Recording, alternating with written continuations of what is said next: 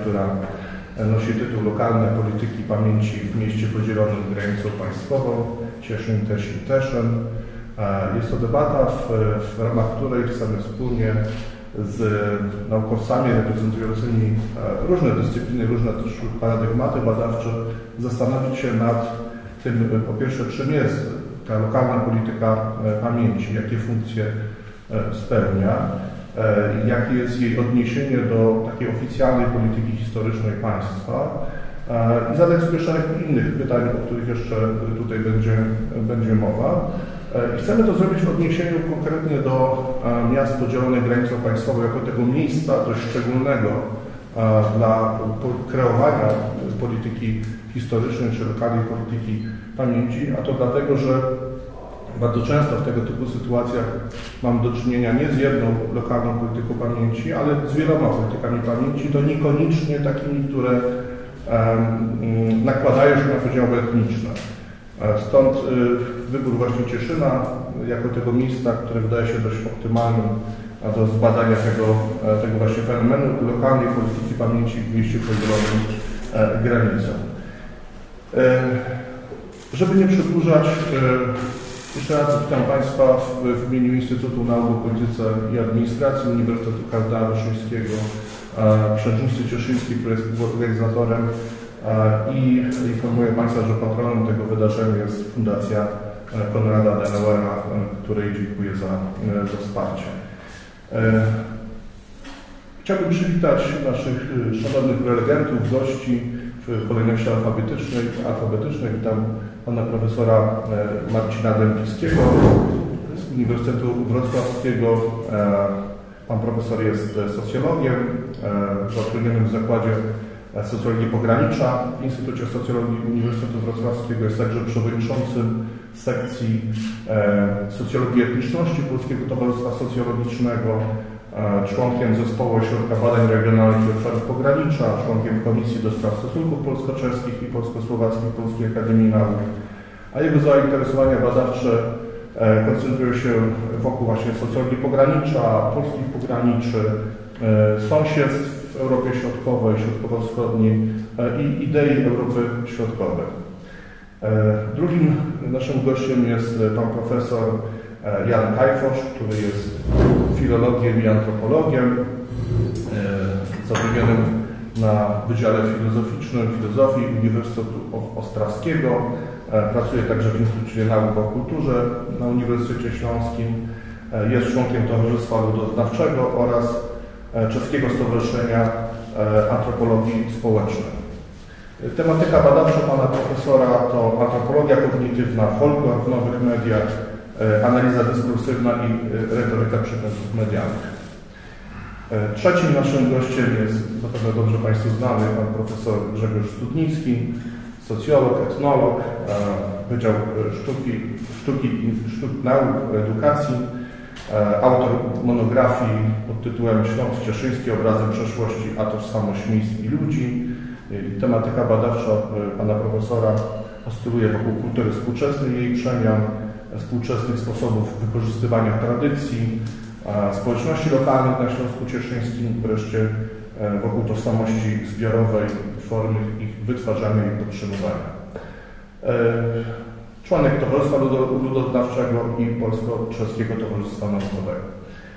I wreszcie jako gospodarz w pewnym sensie i w dwóch rolach występujący jako twórca i tworzywo, pan, pan Krzysztof Szelong, dyrektor tutejszej placówki Księżycy Cieszyńskiej, który występuje tu w roli historyka, także mamy różne perspektywy badawcze. Ja natomiast nazywam się Radosław Zenderowski, jestem socjologiem, politologiem, pracuję w Instytucie Nauk o Polityce i Administracji Uniwersytetu Kardynała Stefana Wyszyńskiego. Jestem też kierownikiem Katedry Stosunków Międzynarodowych i Studiów Europejskich. To tyle tytułem prezentacji naszych gości i myślę, że możemy przejść do, do debaty. Ta debata, proszę Państwa, będzie przebiegać w pięciu takich turach, w pięciu takich rundach. Będę prosił prelegentów o odniesienie się do konkretnej kwestii, konkretnego pytania. Bardzo proszę o takie zwięzłe wypowiedzi około 3 minut, prosimy o raczej nie przekraczanie tego czasu, tak abyśmy mogli mieć spokojnie na końcu tego naszego spotkania pół godziny na taką swobodną dyskusję z Państwem również. Zaczynajmy. Otóż pytanie pierwsze jest pytaniem o to, ile jest polityk pamięci w Cieszynie. W Cieszynie rozumiałem integralnie oczywiście jako ta polska i, i, i czeska część. Które z tych polityk są e, najbardziej takie ofensywne, szukające nowych odbiorców, e, które są bardziej zachowawcze, skoncentrowane raczej na utrzymaniu pewnego stanu posiadania? To jest właściwie pytanie o w pewnym sensie o nowe i o, e, i o stare polityki pamięci. O wypowiedź poproszę pana dyrektora Krzysztofa Siemonę. Bardzo proszę. Dziękuję bardzo. Zanim przejdę do, do, do pytania, to pozwolą Państwo, że, że równie gorąco przywitam Państwa w książnicy, wyrażę satysfakcję z, nie tylko z powodu obecności znakomitych gości, ale i niezwykle ważkiej tematyki, które, którą będziemy podejmować. No i, i z powodu faktu, że to jest w ogóle pierwsze wydarzenie z udziałem publiczności w, w tym roku. W związku z tym moje powitania pod Państwa adresem są tym gorętsze. A wracając do samego pytania, to myślę, że, że pamięć, tym bardziej polityka pamięci jest związana z określonymi wspólnotami narodowymi, etnicznymi, kulturowymi, religijnymi, wyznaniowymi, ideologicznymi i regionalnymi, lokalnymi. I, i, I, wydawałoby się, że, że wystarczy zidentyfikować te wspólnoty w Cieszynie, aby spróbować określić, jakie, jakie pamięci, jakie polityki pamięci w Cieszynie występują. Ale mamy tutaj, napotykamy tutaj na pewno trudność, ponieważ Cieszyn, to o tym trzeba pamiętać, jest i był stolicą historycznego regionu. Równie, również podzielonego współcześnie granicą, jak i samo miasto. Co sprawia, że mm, przyjęło się traktować, czy mówić o historii Cieszyna jako reprezentatywnego całego regionu, całego regionu.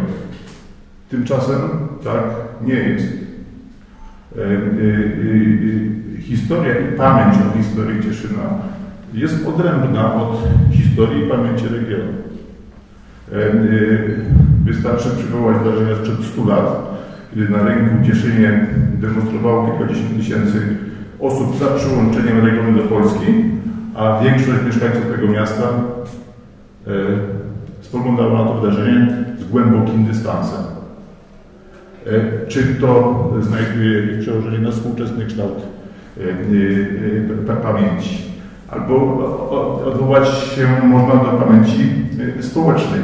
Niezwykle istotną częścią dziedzictwa historycznego Śląska Cieszyńskiego regionu e, jest obecność wielkoprzemysłowej klasy robotniczej. E, to jest ważna część wpływająca na tożsamość Cieszyniaków, ważny element wpływający na tożsamość Cieszyniaków. Górnicy z Karwiny i Łazów, z Dąbrowej, z Orłowej, hutnicy trzynieccy kształtowali wyobraźnię mieszkańców Śląska Cieszyńskiego i wpływali na E, losy regionu. To oni właśnie demonstrowali tutaj e, w głównej mierze e, w 18 roku na przykład. Tymczasem w Cieszynie pamięć o tym dziedzictwie ruchu robotniczego, ruchu socjalistycznego jest, myślę, raczej mm, nieobecna.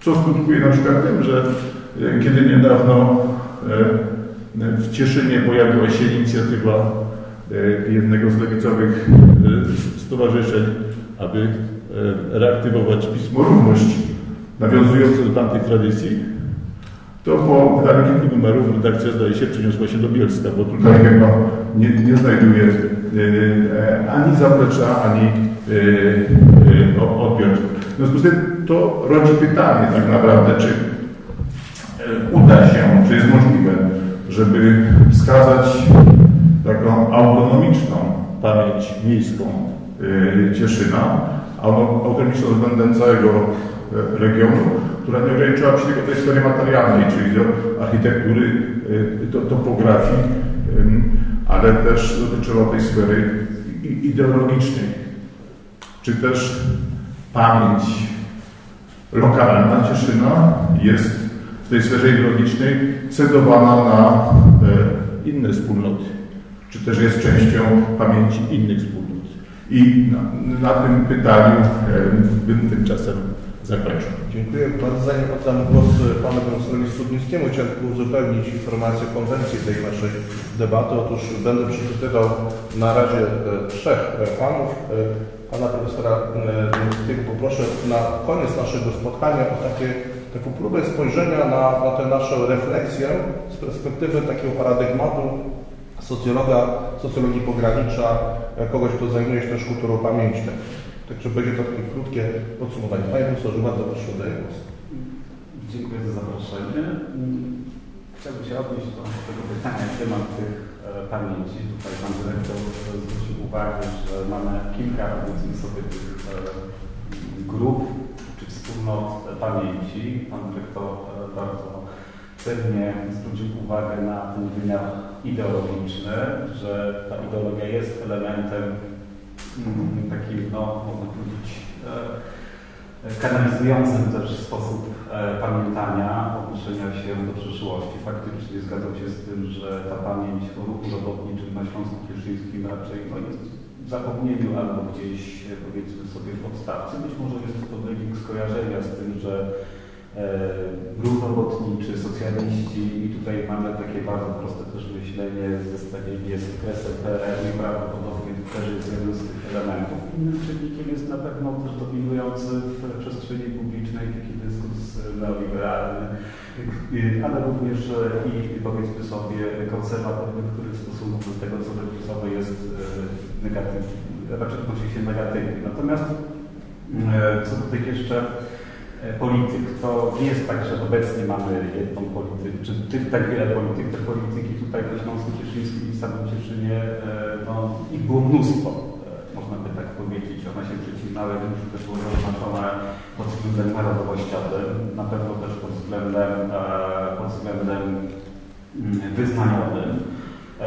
Zresztą bardzo często również dochodziło do pewnego rodzaju tarć w sposobie definiowania czy oceniania e, minionych wydarzeń. Zresztą nawet patrząc na historię Cieszyna, na e, historię powiedzmy sobie e, e pomników, one były też pewnego rodzaju narzędziem e, tutaj w XIX wieku, w XX wieku, narzędziem e, takiej polityki wobec pamięci, gdzie jedna grupa fundowała pomnik żeby przypomnieć pewne wartości dla niej ważne, a zarazem zdenerwować konkurencję. Bardzo dobrym przykładem chyba byłby tutaj odsunięty w 1883 roku z inicjatywy liberalnych Niemców w Radzie Miasta pomnik Józefa II, cesarza. To był też jeden z takich elementów. Te pomniki też były e, wskazują na odmienne e, sposoby opowiadania, na przykład e,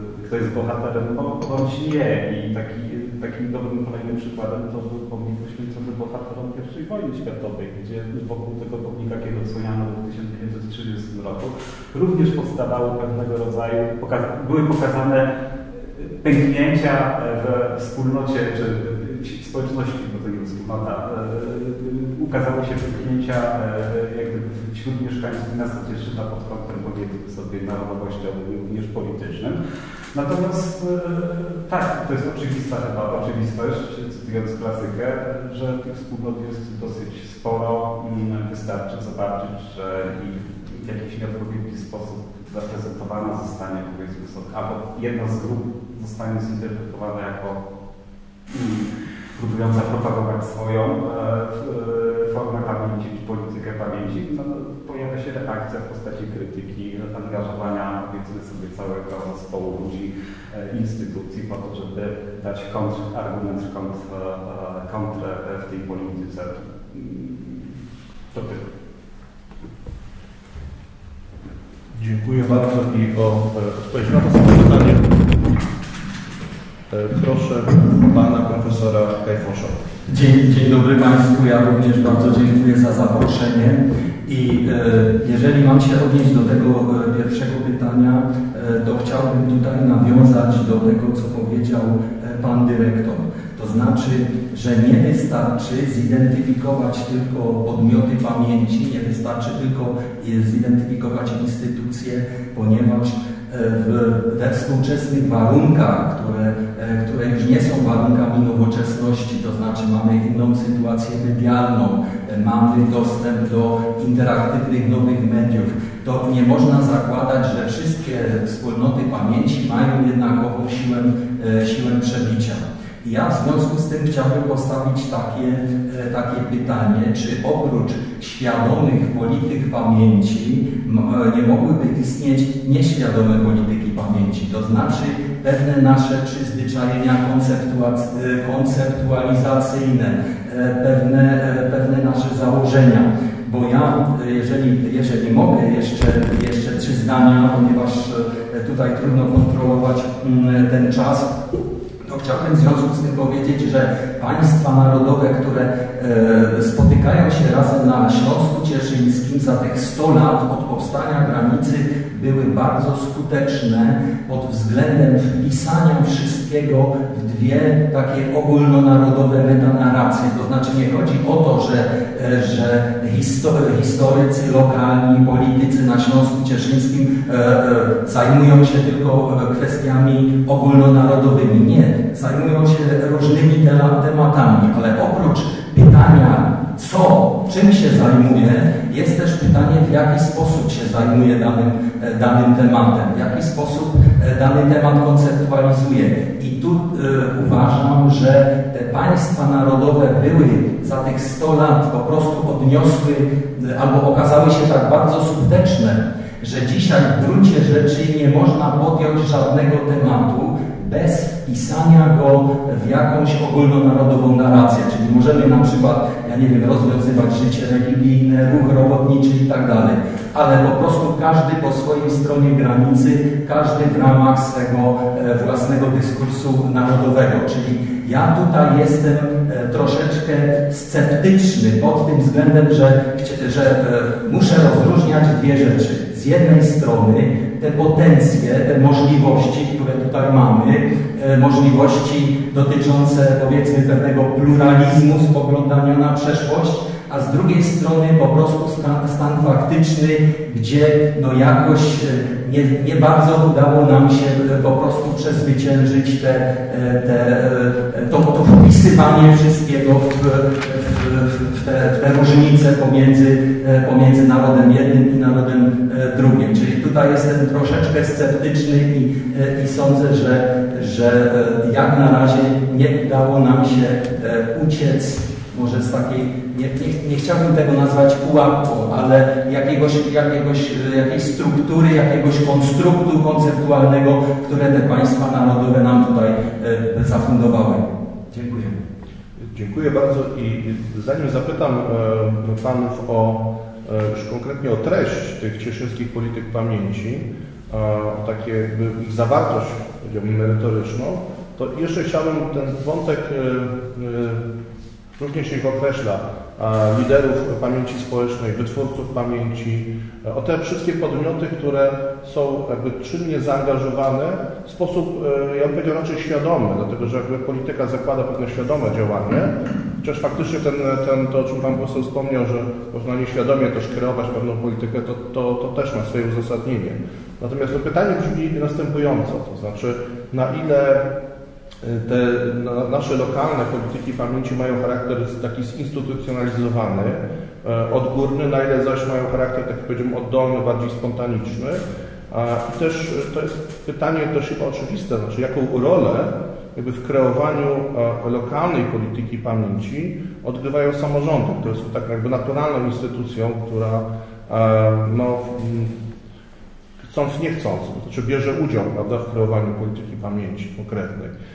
I tutaj y, o wypowiedź poproszę, może zmieniamy kolejność, pana profesora Studnickiego.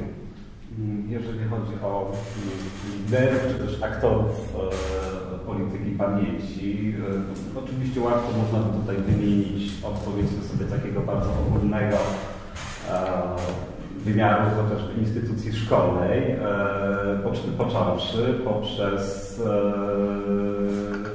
poprzez samorządy lokalne, podlegające im niejednokrotnie instytucje, poprzez różnego rodzaju stowarzyszenia, kończąc na indywidualnych różnego rodzaju inicjatywach podejmowanych przez, nie wiem, różnego rodzaju miłośników regionu, miasta, e, czy powiedzmy zapaleńców zainteresowanych jakimś, byśmy sobie powiedzieli, fragmentem, fragmentem fragmentem e, jakiejś rzeczywistości minionej lub jakimiś postaciami, czy też e, procesami. Oczywiście jeszcze troszeczkę wrócę do tego pierwszego pytania. Bardzo często ci aktorzy czy liderzy bardzo często mogą stać również w kontrze do tych ogólnych narracji płynących z centrum państwa w systemie edukacyjnym. Zresztą prowadząc badania te kilka lat temu, to bardzo często się też pojawiało, że te działania zmierzające do przywołania, przypomnienia pewnych wydarzeń w postaci związanych z regionem, niezależnie od tego, czy to byli Polacy, czy Czesi, czy się identyfikowali jako Ślązacy,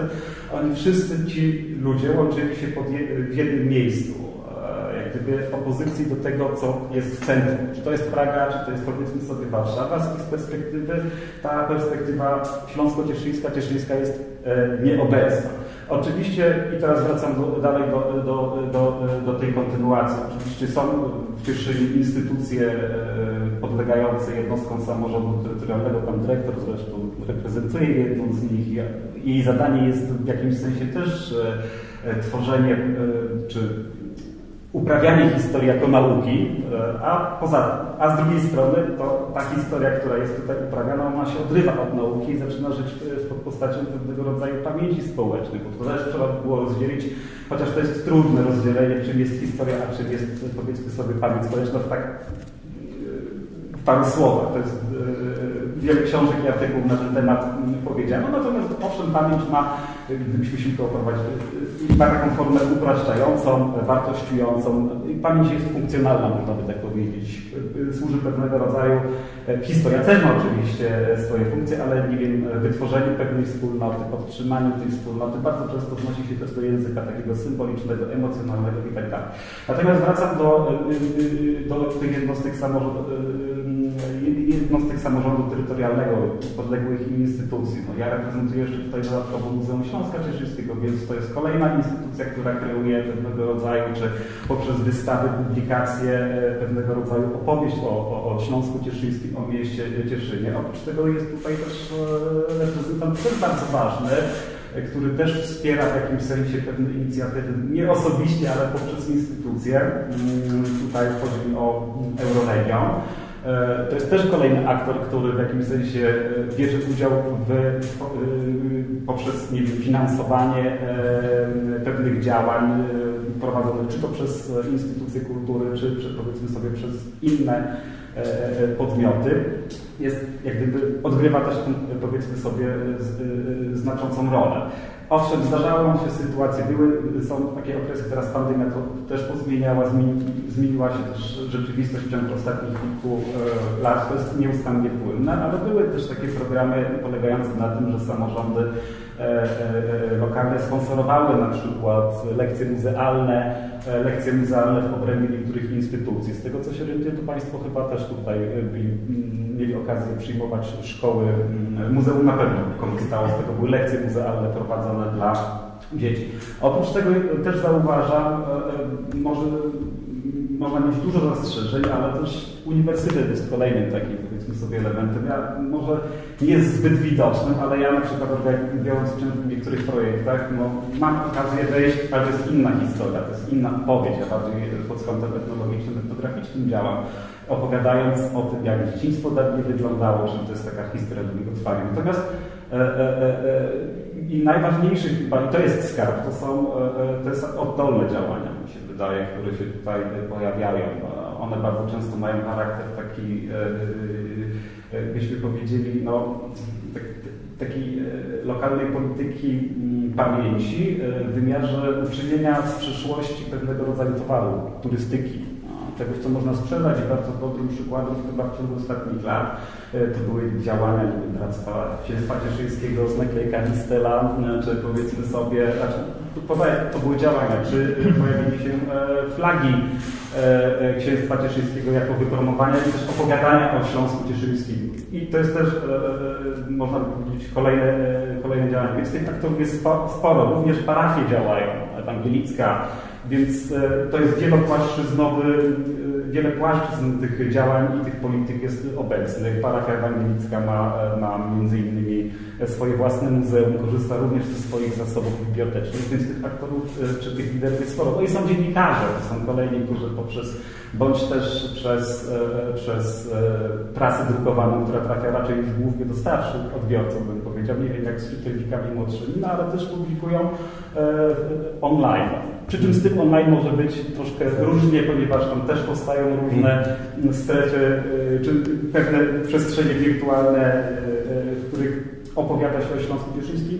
One ulegają rozproszeniu i tutaj może być problem z ogarnięciem tego, ale czasami współkonkurują ze sobą, czy to na poziomie Facebooka, czy jakichś większych takich powiedzmy sobie inicjatyw. Więc tych aktorów jest sporo, są e, grupy rekonstrukcyjne i tak dalej, i tak dalej.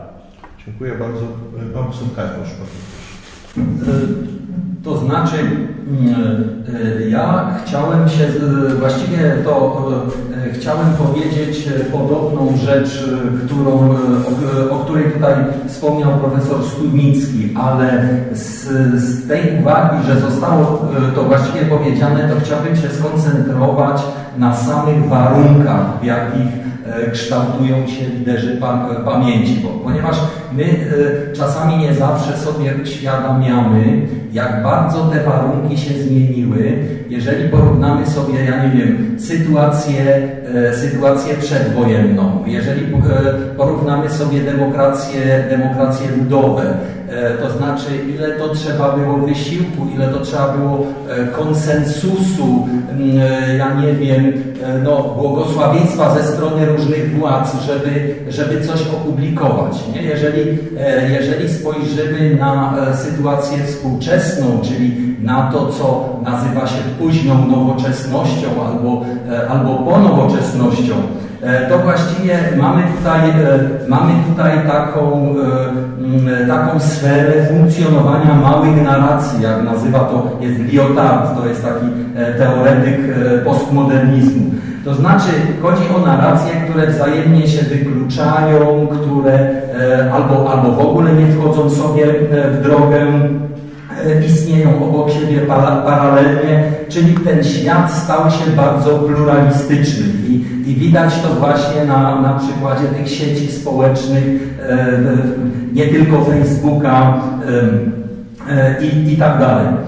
Proszę Państwa, co z tego wyniknęło? Że te tradycyjne instytucje pamięciowe przestały odgrywać do pewnego stopnia rolę pewnego arbitra, e, który, e, który no, e, miał taką funkcję ewaluowania po prostu jakoś tych, tych rozproszonych głosów. Ja zauważam taką sytuację, że te etablowane instytucje pamięciowe dzisiaj przysługuje im w gruncie rzeczy taki sam głos, jak e, po prostu innym e, podmiotom pamięci. Pojawiają się tutaj podmioty zupełnie, proszę Państwa, prywatne, niezwiązane z żadnymi instytucjami. Jeżeli mogę jeszcze, e, jeszcze dwa zdania, to tutaj chciałbym zwrócić Państwa uwagę na przykład na film Izabeli Wałaskiej, który pojawił się przed paroma tygodniami na YouTubie. Nazywa się Zaolzie Fenomen Z. E, proszę Państwa, to jest film czysto indywidualnego twórcy, żadna instytucja tego czy innego państwa narodowego niczego tutaj nie narzuciła. E, sponsorzy e, pochodzili z różnych stron i, i o to właśnie chodzi. To jest właśnie to, to nowum. Nie? Innym przykładem, który sobie tutaj zanotowałem, to jest na przykład Stowarzyszenie PRO, które powstało dosyć spontanicznie działa zupełnie niezależnie od instytucji państwa narodowego. Dbają o ochronę e, polskich grobów po drugiej stronie e, granicy, czyli zajmują się ochroną miejsc pamięci narodowej. I takie stowarzyszenie jest właśnie przykładem instytucji pamięciowej, nowej instytucji pamięciowej, e, która, no, która może świadomie nie uprawia żadnej polityki pamięciowej, a mimo to, mimo to jej wpływ na tę politykę jest znaczący, a działa niezależnie od jakichkolwiek reguł gry, które mogłyby tutaj narzucać strony trzecie. Czyli, czyli tutaj mnie fascynuje bardzo ten pluralizm. Dziękuję. Dziękuję bardzo Panie Dyrektorze. Dziękuję bardzo. Ja bardzo chciałbym się zgodzić z tematem, który profesor. Rzeczywiście sytuacja się radykalnie zmieniła, yy, co widać także w roli historyków, którzy zupełnie profesjonalnych akademickich historyków, którzy zupełnie zrezygnowali z bezpośredniego kontaktu z odbiorcami, z przeciętnymi odbiorcami, z czytelnikami. Nie chcąc się wikłać w różnorodne spory ideologiczne, pozostają w swoich wieżach z kości słoniowej, jak to ktoś często powiedział, dostarczając tylko materiałów w postaci swoich opracowań czy wydawnictw źródłowych. Tę rolę upowszechniania wiedzy historycznej, kształtowania pamięci historycznej przyjęli za to ochotnicy na różnym poziomie, często niewyposażeni w wykształcenie historyczne, którzy uprawiają swoje pasje, motywowane w bardzo różny sposób, bo prowadzą jakieś działania marketingowe, na przykład na rzecz miasta czy regionu, albo też innych podmiotów, albo też realizują jakieś projekty ideologiczne, to też jest bardzo częste. Można takich kategorii tutaj wymieniać więcej, aby skończyć wreszcie na hejterach internetowych, którzy też przecież bardzo mocno wpływają na kształtowanie świadomości historycznej.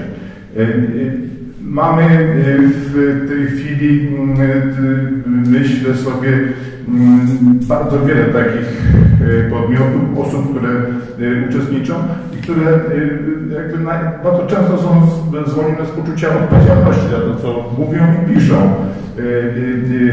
Nie kierują się zasadami warsztatu historycznego, rezygnują ich właściwie metodologia sprowadza się do takiej zasady, którą powiedział kiedyś pewien znany cieszyński regionalista, stwierdzając, że jak coś się mogło wydarzyć, to znaczy, że się wydarzyło, jeśli pasuje do narracji. I tak ta narracja często jest rozwijana, w efekcie czego na przykład profesor Gojniczek już lat temu stwierdził, że święty Marek Grodziecki był cieszyńskim mieszczaninem, to nadal niektórzy twierdzą, że był członkiem Grodziecki z Grodźca, prawda? Nie przyjmując tego do wiadomości. Inni z kolei na przykład ustalają święto flagi księstwa cieszyńskiego wspomniane została profesora 1 listopada. A dlaczego? Dlatego, że tego dnia Rada Narodowa Księstwa Cieszyńskiego miała ogłosić niepodległość Księstwa Cieszyńskiego od Polski, Czech, Austrii, etc. Więc jakby wszystko wolno. I w tych warunkach głosy instytucji są słabo słyszane. Są na takich samych prawach jak inne. Podobnie ze stowarzyszeniami, które na przykład w Cieszynie coraz słabiej angażują się w działalność historyczną. Wszystko zresztą staje się coraz częściej rodzajem, częścią, powiedziałem, entertainmentu, prawda? przemysłu rozrywki. Musi być fan przede wszystkim. W związku z czym mm, to e, rodzi wiele różnych komplikacji i jeszcze jedna uwaga, bo po prostu już trzyma mikrofon w ręce. E, e, ja myślę, że bardzo wyraźny podział, że sytuacja wygląda inaczej po naszej stronie Rosji i inaczej po czeskiej stronie Rosji. Tam mamy Muzeum Cieszyńska, instytucja, o której kiedyś pan Wacław Leszczówka, sekretarz Euroregionu dawny e, Śląsk Cieszyński, w obecności obecnego tutaj pana dyrektora, w obecności prezesa Kongresu Polaków, e, w czasie dyskusji ze mną o tym, czy dopuszczalne są e, projekty jak on to nazywał, polsko-polskie, czyli realizowane przez partnerów z polskiej strony i partnerów zaoriańskich, stwierdził, że nie, ponieważ musi być partner z tamtej strony etnicznie czeski. I e, kiedy go spytałem, jak rozpoznać narodowość, etniczność instytucji, to wtedy mi odparł, że no, można się posłużyć tym przykładem. I takim przykładem jest Muzeum Cieszyńska, które chrani zajmy czeskego etnikum na Cieszyńsku. E, ja to pozwalam sobie powtórzyć, ponieważ wtedy się upewniłem, czy mogę się powoływać na ten głos. Pan redaktor pozwolił, w związku z tym to przytaczam. I y, oczywiście to nie są słowa, które autoryzował dyrektor muzeum, ale jeśli się przyjrzeć działalności Muzeum Cieszyńska, to myślę, że e, one w praktyce znajdują potwierdzenie. I tam ta pozycja instytucji po tamtej stronie jest niezwykle mocna. Po polskiej stronie Muzeum Cieszyńska nie ma swojego odpowiednika. Oczywiście po, na, tamtej stronie jest jeszcze e, ta pamięć polska zaoriańska. Ale e, to też są czasy, kiedy zresztą e, sekcja historyczna dodatkowo została istnieć niedawno. A jeszcze, nie wiem, kilkadziesiąt, dwadzieścia lat temu, to przecież członkowie tej sekcji historycznej byli, powiedziałbym, e, takimi starymi sparring partnerami dla profesora, legendarnego profesora Jarosława Walenty, który przyjeżdżał na Załozie, żeby o Śląsku Cieszyńskim e, debatować. Tej chwili e, ta pamięć uprawiana przez historyków polskich załozińskich jest taka bardzo, myślę, ekskluzywna i dociera tylko do tej kupczącej się społeczności polskiej na Załościu. Dziękuję. Dziękuję bardzo. Myślę, że możemy przejść do takiej zasadniczej części naszej dyskusji, a mianowicie chciałbym e, zapytać już wprost o treść tej, tych cieszyńskich polityk pamięci. Tak patrząc z perspektywy trzech ostatnich dekad, bo myślę, że ten okres warto to wziąć pod uwagę przede wszystkim, które Panów zdaniem treści wysuwają się coraz bardziej wyraźnie na, na, na plan pierwszy, które z kolei schodzą z tego planu pierwszego, które zanikają bądź schodzą właśnie na plan drugi, trzeci. E, I wreszcie, ponieważ no, polityka pamięci ma także swój rewers w postaci polityki zapominania, pytanie oczywiście dość trudne i może kontrowersyjne, ale o czym chcemy w Cieszynie zapomnieć, tak? Znaczy, jakie elementy przeszłości a, e, są e, niewygodne, o których chcielibyśmy jak najszybciej zapomnieć, tak? i jaką rolę tutaj odgrywają właśnie te, te polityki y, pamięci. E, I też prosiłbym Panów o taką próbę odniesienia te, te, tych pytań do takich pięciu elementów jakby tożsamościowych, takich jak, jak epos, jak genos, jak logos, jak etos, jak, e, jak, jak topos, prawda? To, to są takie elementy konstrukcyjne, e, tożsamościowo-twórcze i jako pierwszą osobę o odpowiedź poproszę Pana E, profesora Kajfosza. A to znaczy, mm, jeżeli chodzi, e, jeżeli chodzi o to, co zanika lub schodzi na dalszy plan, no to e, nie wiem, mm, chyba, chyba to nie będzie żadnym, żadnym odkryciem, że właściwie w te dwie ogólnonarodowe metanarracje w żaden sposób nie wpisują się cieszyńscy Niemcy musimy po prostu, ja nie mówię, nie mówię że, tego, że tego tematu nie ma w, mm, w, w, tekstach historycznych, w tekstach profesjonalnych, oczywiście jest, jest bardzo dobrze opracowany, ale jeżeli chodzi o takie teksty potoczne, e, o e, teksty e, znajdujące się albo funkcjonujące, krążące w obiegu społecznym, no to, to tam niestety ta tematyka e, właściwie, właściwie jej, jej nie ma i chyba nie ma nawet żadnego podmiotu na tym terenie, który byłby zainteresowany mm, jakby jej podejmowaniem. To jest jedna rzecz. A druga rzecz, którą chciałbym, e, o której chciałbym w związku z tym wspomnieć, i ona jest może trochę taka kontrowersyjna, e, ryzykuje tutaj sporo, twierdząc, że instytucje, mm, instytucje polskie i instytucje czeskie troszeczkę w, z, z biegiem czasu, po tych stu latach, zamieniły się e, swoimi rolami. Jeżeli na przykład się popatrzę, ja już nie, nie mówię tutaj o, e, o właśnie Muzeum Kieszyńska, bo to jest taka specyficzna sprawa, Ale mamy, mamy inne czeskie instytucje, na przykład, ja nie wiem, koleje czeskie, czy nie, koleje czeskie, albo instytucje działające na poziomie ogólnopaństwowym, okręgowym i tak.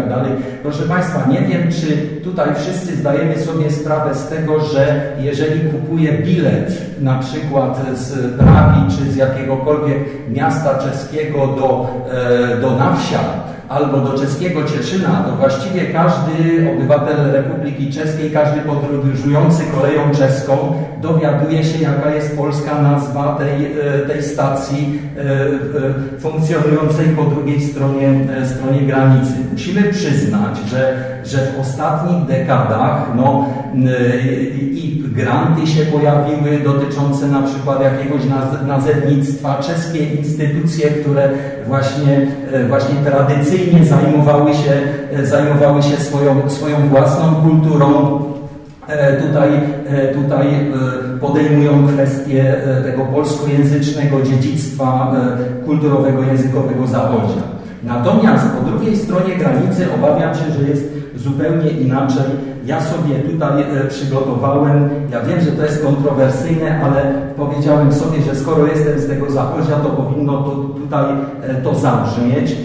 Proszę Państwa, jeśli chodzi o, o samorządowców lokalnych, E, to e, po prostu e, no, można się w, w, ich języku, w ich dyskursie spotkać z rzeczami, które jeszcze 20 lat temu byłyby niewyobrażalne. Na przykład w serwisie informacyjnym o XPL taki nagłówek. Kładka łącząca pogwizdów z Louky u Karwinem.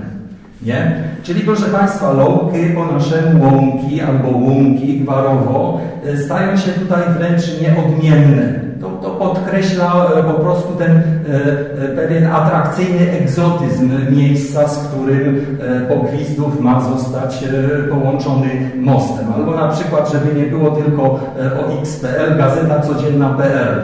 Rowerowe przygody od Skoczowa do Hradka z 25 kwietnia bieżącego roku. Ja takie po prostu perełki śledzę, no, a najgorsze w tym jest to, że to już nie są jakieś sporadyczne perełki. To się proszę Państwa, staje jakiś elementem tego dyskursu. I to jest, proszę Państwa, ta moja teza, że te instytucje wymieniły się swoimi rolami, bo tradycyjnie było tak, że, mm, że polskie instytucje bronią polskich interesów i, i polskiego dziedzictwa kulturowego, a czeskie instytucje na odwrót.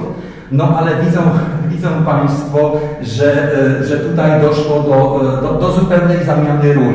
Nie? Czyli, e, czyli w polscy samorządowcy i nie tylko samorządowcy, bo też dziennikarze, e, tutaj sobie zanotowałem też taki przykład, jak dziennikarz rozmawia z, z pewną piosenkarką z drugiej strony granicy i e, proszę Państwa pytają, jak jest w Czechach piwo.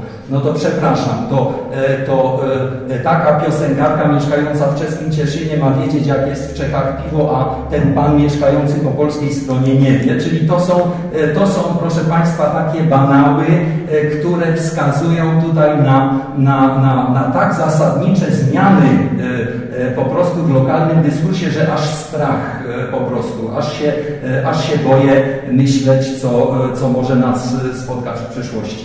Dziękuję. Panie dyrektorze, o czym chcemy szczególnie pamiętać, o czym chcemy zapomnieć, jeśli chodzi o Cieszyn? Y Halo? No. Trochę boję tego mikrofonu, bo wydaje się, że zbyt blisko niego się lokuje i występuje jakiś pogłos. E, ja chciałbym nawiązać do tego, o czym mówił Pan Profesor, bo poprzednio nie zdążyłem, a myślę, że to jest jednak ważny, ważny element. To jest także pyta nawiązanie pytania o samorządu, o ich rolę e, mm, w kreowaniu e, polityki pamięci. Otóż proszę Państwa, ten sam przykład, o którym mówił Pan Profesor. Grudek, w którym niedawno powstało muzeum, w którym nie sposób znaleźć napisów w języku polskim, mimo że jest tam mniejszość polska, prawda? I Skoczów, który jest partnerem tegoż Grudka, i Skoczów we wszystkich materiałach dokumentacji nie nazywa Grudek Grudkiem, tylko Hradkiem, prawda? Y, y, y, albo Haszlach e, i Muzeum Tieszyńska. E, wspólny projekt, w efekcie którego powstaje rodzaj muzeum w, w Haszlachu, gdzie są czeskie napisy. Muzeum Cieszyńska, mimo że właściwie na dyrektorze spoczywa obowiązek zadbania o polską mniejszość, takich napisów znaleźć nie sposób. E, e, otóż ja mam także doświadczenie, dzięki panu dyrektorowi, czy będę tego żałuję do tej pory, ponieważ byłem członkiem regionalnego komitetu sterującego przez jakiś czas. Miałem okazję obserwować zachowania przedstawicieli samorządów z polskiej i czeskiej strony. Ja myślę, że tam po czeskiej stronie świadomość wspólnoty interesów narodowych, państwowych jest niezwykle mocna i jest taka uwewnętrzniona i nie trzeba nikogo pouczać. Natomiast po stronie polskiej samorządowcy mają wszystko o sprzedaż. Y, nie ma poczucia y, odpowiedzialności za wspólnotę narodową i państwową. To, y, przepraszam, ale taka obserwacja wyniesiona sprzed już wielu lat. A co do treści pamięci, to oczywiście ona jest bardzo zróżnicowana. Oczywiście jest polska, czeska, niemiecka. Myślę, że tutaj można tylko hasłowo pewne rzeczy wymienić, ale myślę, że tak nawet na to nie ma czasu. Jest także właśnie ślązakowska, ale wraca pytanie o to, czy jest wspólna pamięć i wspólna polityka pamięci lokalna, miejska, cieszyńska. Ja myślę, że nie ma wspólnej, transgranicznej pamięci, bo jest e, to wyraźnie e, zróżnicowane. Po tamtej stronie Olzy mamy przede wszystkim kreowaną pamięć o tej czechosłowackiej modernizacji i, i skupieniu się na, na tym, co, co się wydarzyło na Sachsenbergu i, i na Brandysie i tak dalej. Natomiast na, na, w Cieszynie właśnie, jaka tu jest Nawiążę do tego pytania, które postawiłem na początku. Czy da się wskazać to, tą ideową czy ideologiczną warstwę e, pamięci, która jest e, kreowana poza pamięcią o wydarzeniach, prawda, czy o miejscach, czy o kamienicach. E, ja myślę, że Cieszyn najchętniej nawiązuje do okresu swojej świetności. A kiedy on miał miejsce? Pod koniec XIX wieku, na przełomie XIX-XX wieku. E, kiedy oczywiście Cieszyn rozkwitnął, kiedy stał się tym małym Wiedniem, e, to też pojęcie wykreowane, e, wylansowane, jak powiedział bardzo mocno, stosunkowo niedawno, kiedy zwiedzał, odwiedzał to miasto Cieszyn, kiedy panie w, w krynolinach w towarzystwie przystojnych mężczyzn ubranych w oficerskie, austriackie mundury spacerowały pod laubami. To jest to, do czego cieszyniacy lubią wracać najchętniej. Tak, pamięć taka, powiedziałbym, mieszczańska czy drobnomieszczańska, nie powiem kołduńska. I po drugiej stronie ta pamięć nie jest y, odtwarzana. Ona, jedna, ona zaczyna być powoli odtwarzana, się pojawiać za sprawą znowu Polaków transgranicznych. I, i, I, myślę, że to jest tak, że, że o ile y, po roku 20 zaolziacy polonizowali polską część Śląska Cieszyńskiego, tak teraz myślę, polska strona się im zrewanżuje opowieścią o starej Austrii, poczciwie Francu Józefie i, tym dziedzictwie, które e, tutaj mamy. Tramwaj, o, tramwaj, to jest symbol e, tego, o czym, e, o, o czym mówimy, który jest w tej chwili eksploatowany na różnych polach, na różnych płaszczyznach. I oczywiście nie byłoby w tym nic złego. Nie byłoby nic z tym złego, ale może być. Ponieważ na obrzeżach tego wszystkiego pojawiają się narracje takie mocno sentymentalne, nawiązujące do właśnie dziedzictwa niemieckiego, do dziedzictwa ślązakowskiego. W gruncie rzeczy to jest opowieść taka właśnie niemiecko-ślązakowska. I to może też jeszcze nie było w tym nic złego, tylko że oprócz, oprócz tego pojawia się także akcent separatystyczny, wyraźnie wymierzony w związki z Polską, z polskością. I tutaj zaczyna to być rzeczywiście problematyczne. Nie chcę przedłużać, ale wiele przykładów może wskazać. Może w dyskusji do tego będziemy mogli nawiązać.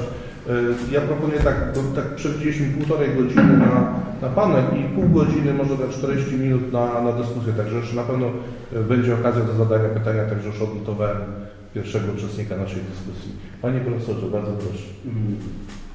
Ja myślę, że problem z wypracowaniem tożsamości właśnie sprowadza się do tej tożsamości narodowych. Trudno jest, że jakby one stają mimo wszystko, mimo mówienia o tym, że mamy kryzys jakichś tożsamości narodowych, czy coś w tym rodzaju, one są nadal e, bardzo mocno i e, silnie e, obecne. Zresztą w tekstach, które też jak gdyby są podstawą też naszej tutaj rozmowy, tam się pojawia wątek skupienia się na granicy i tego, co jest obok tych granic z jednej strony historia tej granicy i to jest jakby nie było od XIX wieku e, ten sposób myślenia XIX-wieczny e, w ramach dyskursów narodowych on jest obecny i, i to jest można powiedzieć jeden z tych elementów. Pytanie, czy, czy jest możliwość stworzenia takiej tożsamości, która by przekraczała te tożsamości narodowe? Z jednej strony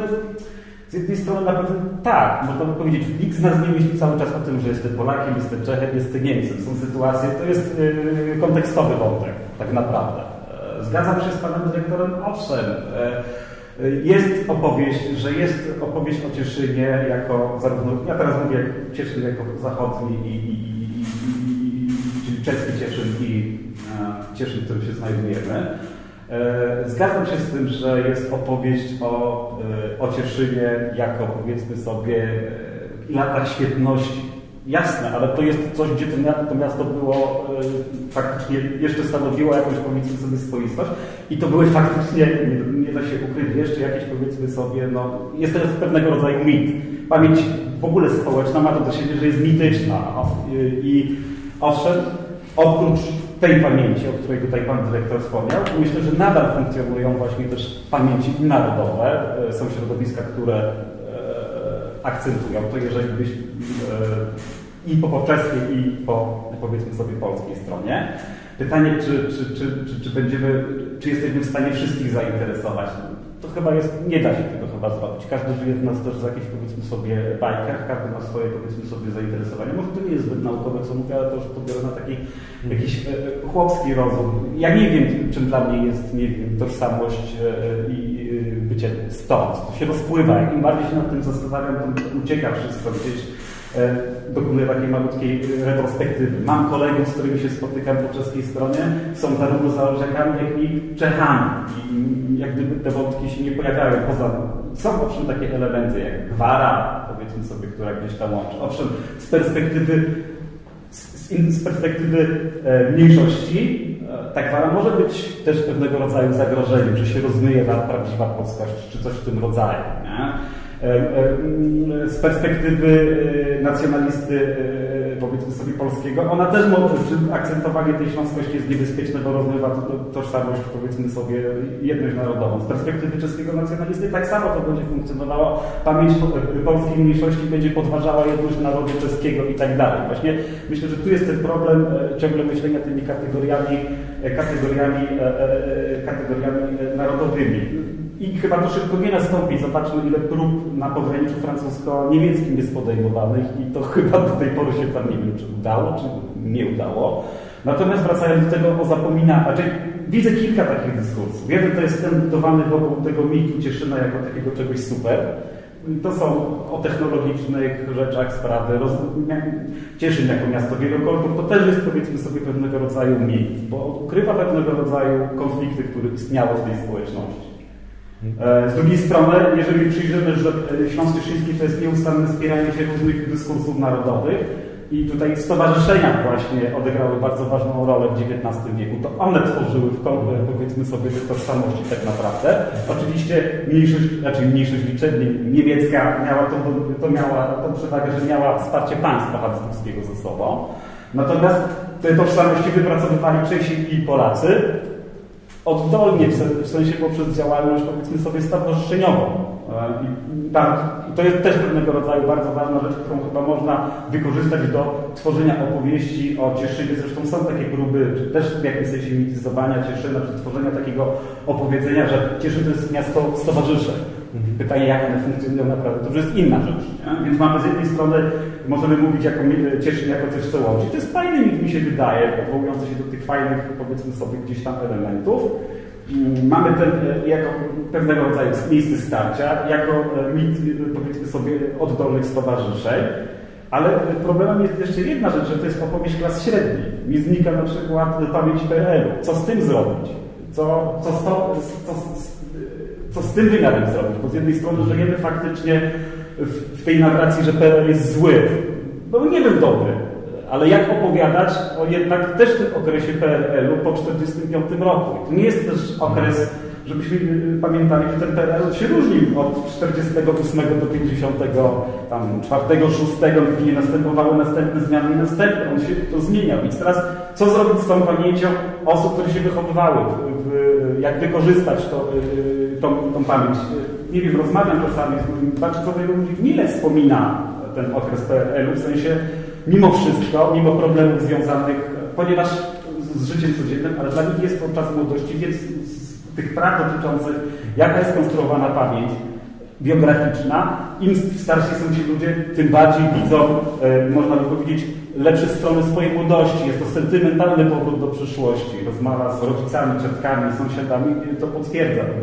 Natomiast ten wątek właśnie pamięci właśnie e, klasy robotniczej, on dziś powiedzmy sobie znika. On, owszem, na poziomie polityki, historii, monografii on się pojawia, ale na poziomie e, powiedzmy sobie życia kulturalnego gdzieś tam powiedzmy sobie zanika. Owszem, wspomnimy coś tam o Chile, gdzieś tam czasami może jeszcze Karola Śliwkę ktoś przywoła, ale jakbym się zapytał, nie wiem, o sekcje turystyczne siły czy coś, to już o tym nie pamięta. Ta pamięć właśnie tych klas robotniczych to jest też jeden, jedna z rzeczy, która zostaje wyparta. I już na koniec, e, dotyczący tych Niemców, to, to też jest e, e, też dylemat, że okres PRL-u też tworzył pewną narrację. My też jesteśmy dziedzicami pewnych wyciszeń, które były wcześniej przez nas, przez wcześniejsze pokolenia dokonywane.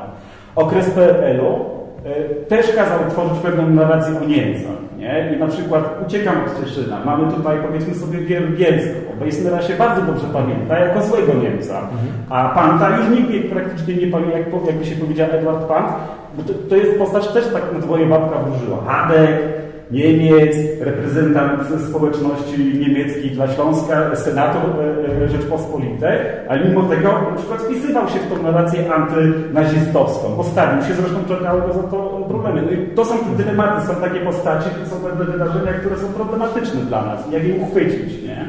Na poziomie pamięci społecznej to jest bardzo fajne, e, powiedzmy sobie, raczej proste, to są figury. Mhm. Historycy się oczywiście bawią, przepraszam za to sformułowanie, jest bardziej zniuansowane. Teraz problem jest, jak przetransformować, bo faktycznie połączyć później te, te elementy historii mhm. z pamięcią społeczną. Natomiast uważam, że ta pamięć fabryk y, PRL-u gdzieś znika, chociaż jest jakiś taki powrót, nie wiem, ja mogę tutaj znowu kamyczek wrócić, jakiś taki Muzeum Śląska Cieszyńskiego ostatnio w jakimś sensie publikował, no, no, odwołuje się do tej pamięci, publikując e, album fotograficzny doby PRL. To jest też fajne prześledzić, co się z tym miastem działo. Mhm dobrze jest zobaczyć, co się działo po obu stronach czasie.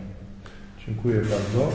Mam jeszcze dwie kwestie do mówienia, mam takie wrażenie, że w zasadzie myśmy już tych kwestii dotknęli. To znaczy myślę tutaj o, e, o tych e, możliwych napięciach, tych zgrzytach między tą oficjalną, czy oficjalnymi narracjami historycznymi, oficjalnymi politykami historycznymi polsko-czeską, a tą właśnie lokalną, czy lokalnymi politykami, więc ja bym tego tematu może już y, teraz nie, nie drążył, ponieważ e, właściwie już godzinę rozmawiamy, a widzę, że e, część uczestników tak po twarzach i po zgłoszeniach będzie chciała zabrać głos i, a, i nas przepytać, bądź wygłosić jakąś polemikę do tego, co zostało tu powiedziane, a ta nasza dyskusja przez to nabierze większej dynamiki.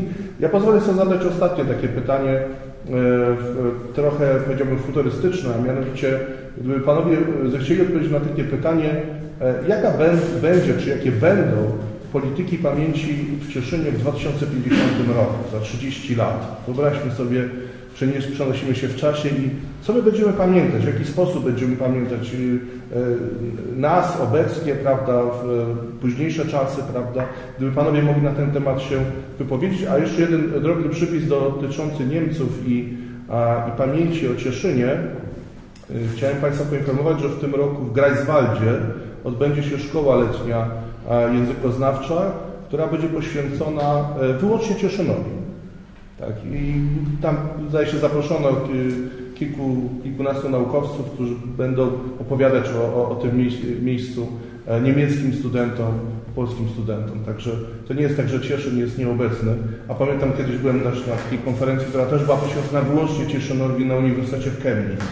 Także e, ten Cieszyn gdzieś tam się pojawia cały czas w, w tym świecie naukowym. Dobrze, to e, Panie Dyrektorze, może jak będziemy pamiętać e, przeszłość za 30 lat? Czy w ogóle będziemy pamiętać? Może, może tak, tam to pytanie. Ja z e, zasady unikam odpowiedzi na tego rodzaju pytania. e, ja jestem historykiem, nie futurologiem. E, e, nieco w takim razie spróbuję się wywikłać z tego konwencją żartu. No, proszę Państwa, mm, trochę nawiązując do tego, o czym mówiłem przed chwilą, też e, bardzo e, zapadło mi w pamięć hasło, które w ubiegłym roku niezwykle intensywnie było lansowane na łamach e, tytułów prasowych po polskiej po czeskiej stronie.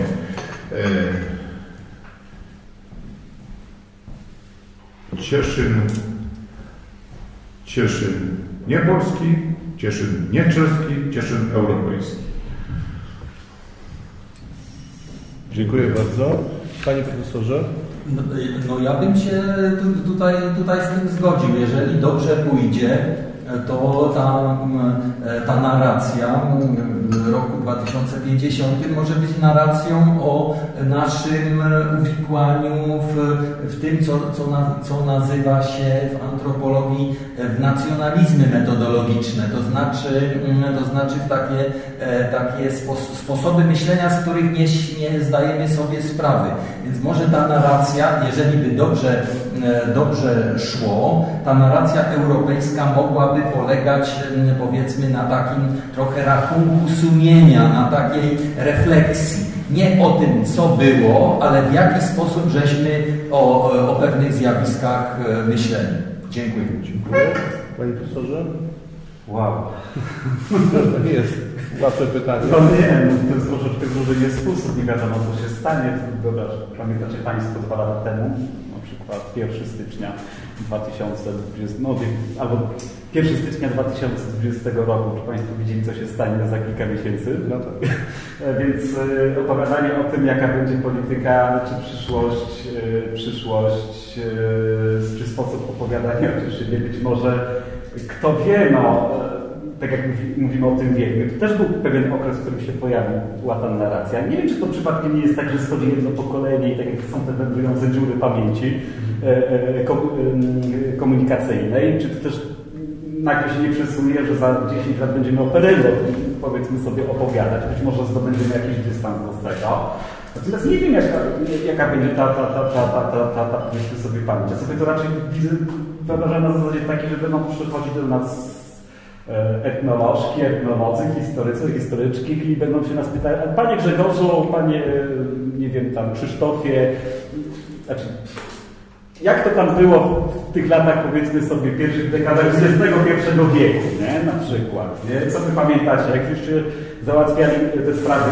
I myślę, że to będzie może jeszcze dalej, jeżeli nie będzie kryzysu energetycznego, będziemy mieli bardzo duże zasoby, powiedzmy sobie, e, tak jak, nie wiem, jesteśmy książnicy, która gromadzi jest pewnego rodzaju archiwum, to ta przyszłość będzie, wydaje mi się, nadal wyglądała na takiej zasadzie, że ktoś będzie będzie podejmował pewne tematy mniej lub bardziej modne, niektóre, niektóre są brane oczywiście pod kątem też pewnych jakichś nurtów dominujących na przykład w danym okresie. Był czas, kiedy się mówił o Katyniu sporo, odeszliśmy od tego. Nie wiemy, co będzie w przyszłym roku. Być może ktoś będzie, może tą pamięcią będzie pandemia. Jak, jak żyliśmy, jak sobie radziliśmy. Ktoś będzie szukał, nie wiem, Polaków, Czechów, tęsknię za tobą, te wszystkie akcje, które były przez granicę. I tak bym chciał powiedzmy sobie, warunków, żeby o tym pamiętano, przy tym niejednokrotnie też yy, nad tym się pochylano. Ale tak naprawdę nie wiem, jaka będzie. To zależy od wielu czynników, nie wiem, geopolitycznych, kto wie, kto będzie, jak to się wszystko potoczy, bo to żyjemy w dziwnych e, czasach, e, można powiedzieć przełomowych. Nie wiem, zmienia się w skali globalnej e, relacja sił Chin, Stany Zjednoczone. Nie wiadomo, co to będzie. I czy przypadkiem, po prostu, czy nie będzie też tak, że będzie taki kryzys, że wszyscy tym rzucą. Mnie to interesuje, chcę przetrwać. Nie Chociaż nie znajdzie się na jakimś uskoku politycznym na przykład, nie? Nie wiem. A, dziękuję bardzo. I na koniec bardzo bym prosił pana profesora y, Delickiego o taką swoistą metanarrację, to znaczy na spojrzenie na tą naszą dyskusję, na to, co zostało już powiedziane z perspektywy właśnie e, takiej meta, e, z perspektywy właśnie takiego socjologa pogranicza, czy kogoś, kto zajmuje się kulturą, kulturą pamięci, e, co warto odnotować z naszej dyskusji, co warto zapamiętać. I potem już oddamy głos Państwu i to będzie ostatnia część naszego spotkania. Bardzo proszę Panie Profesorze. Dziękuję bardzo. Dziękuję przede wszystkim e, Uniwersytetowi Książnicy za e, zaproszenie, za możliwość wzięcia udziału. Proszę Państwa, no właśnie, e, przypadła mi rola e, kogoś, kto e, nie będzie wchodził w e, wątki praktyczne, tym bardziej, że jestem e, z dość daleka stąd, porównaniu przynajmniej z e, szanownymi dyskutantami. Ale ze Śląska. Ale ze Śląska. Stolicy Śląska. Problemy podobne. Tak jest. Oj, ale właśnie już z nimi po- chciałem, chciałem, e, żeby nie było sporu, to chciałem się ograniczyć do geografii, ale widzę nie tak prosto, bo jak wyjdziemy poza geografię, to się schody zaczynają. E, czyli podejść do problemu od strony właśnie teoretycznej, a nie, a nie treści konkretnych komponentów. E, przede wszystkim chciałbym podkreślić, że dla mnie e, istnieje ścisły związek, ścisłe powiązanie wątków e, pamięciologicznych e, z tożsamościowymi, prawda? Czyli tożsamość jako, jako pewne zjawisko wyrastające z świadomości, z przeświadczenia, że jestem tym, kim byłem zawsze, a także, że ten komponent przeszły ma dla mnie duże znaczenie i dzięki niemu odróżniam się od pewien sposób pojmowanej e, reszty świata. No i teraz e, właśnie wątki z jednej strony teoria, teorie e, podejścia różne do pamięci, z drugiej strony kwestie czysto graniczne czy pograniczne. Punktowo, króciutko rzecz jasna. Kategoria Stella, oczywiście co się za nią kryje, w to nie będę wchodził, natomiast ona jest teoretycznie rzecz biorąc interesująca, dlatego że pozwala nam spore rzeczy na e, pozytywny i negatywny wymiar toż- tożsamości, to znaczy czy bardziej akcentujemy to, e, kim jesteśmy, co nas wyróżnia, co stanowi o, nas, o naszej specyfice, e, czego ewentualnie nie mamy, czy też staramy się przeciwstawić to, kim jesteśmy, temu, kim jest inny. A więc pokazywać, my jesteśmy kimś innym, bo nie jesteśmy tacy jak oni. I teraz tutaj e, no, pojawia się tak, z jednej strony z punktu widzenia naszej e, takiej em, dosyć, dosyć jednorodnej kultury narodowej, polskiej kultury narodowej, wszelkie e, lokalne, regionalne e, specyfiki są, e, że tak powiem, od strony wartościującej czymś e, godnym uwagi i, e, i e, pielęgnowania. prawda? Nie mamy tego w polskiej rzeczywistości e, zbyt wiele e, i dla mnie na przykład jako kogoś z Wrocławia e, to silne akcentowanie lokalności, cieszyńskości i tak e, ma w sobie pewien taki magnes, pierwiastek e, mocno intrygujący i interesujący.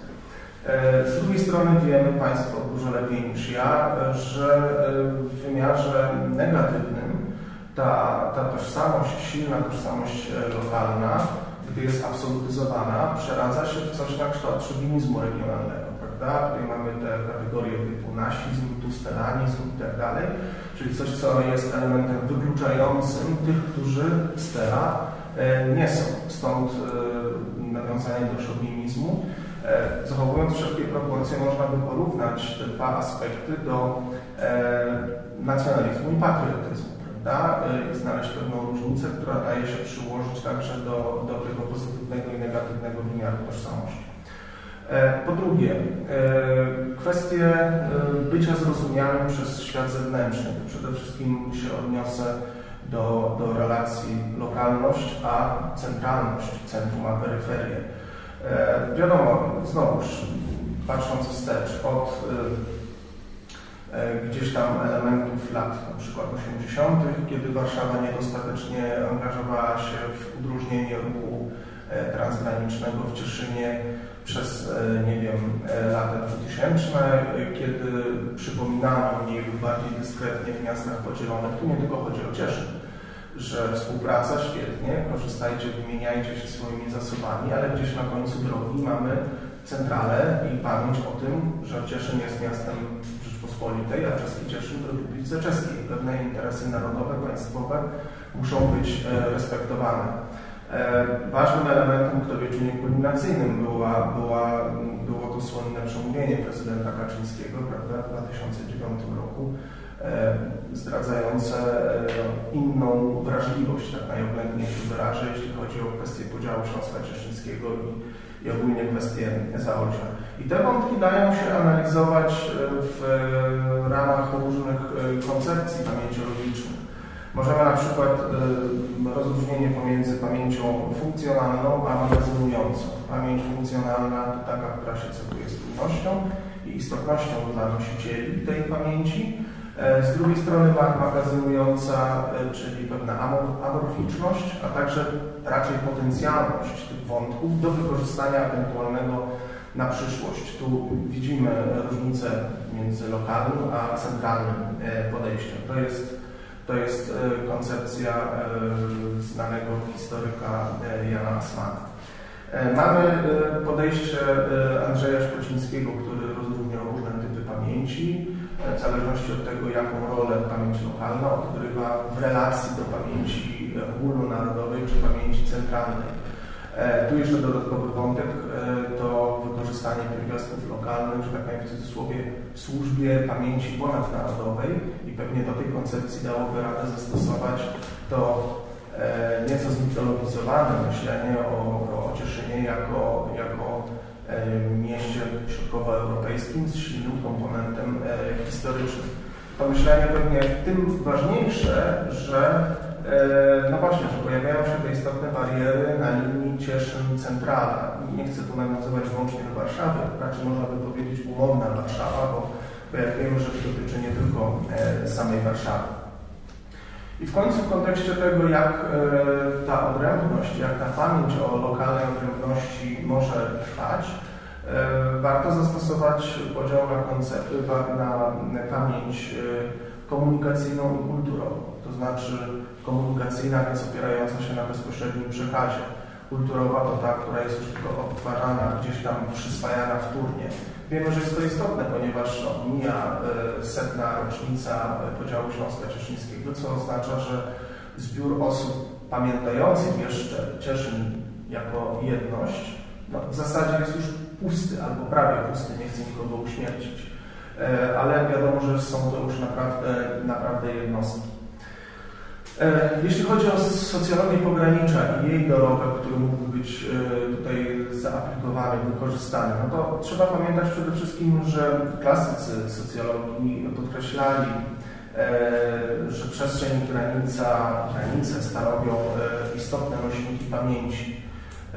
I wychodząc z tych założeń, warto zwrócić uwagę na trzy koncepcje, tak bym powiedział. Po pierwsze, E, koncepcja granic fantomowych. To takie dosyć nośne i popularne w ostatnich e, co najmniej latach, jeśli nie kilkunastu e, latach, kategoria, która koncentruje się na zjawiskach, które przetrwały z czasu, gdy dana ziemia, dany teren był częścią innego organizmu politycznego. Granice fantomowe, czyli one nie istnieją już obecnie jako ważne granice polityczne czy administracyjne.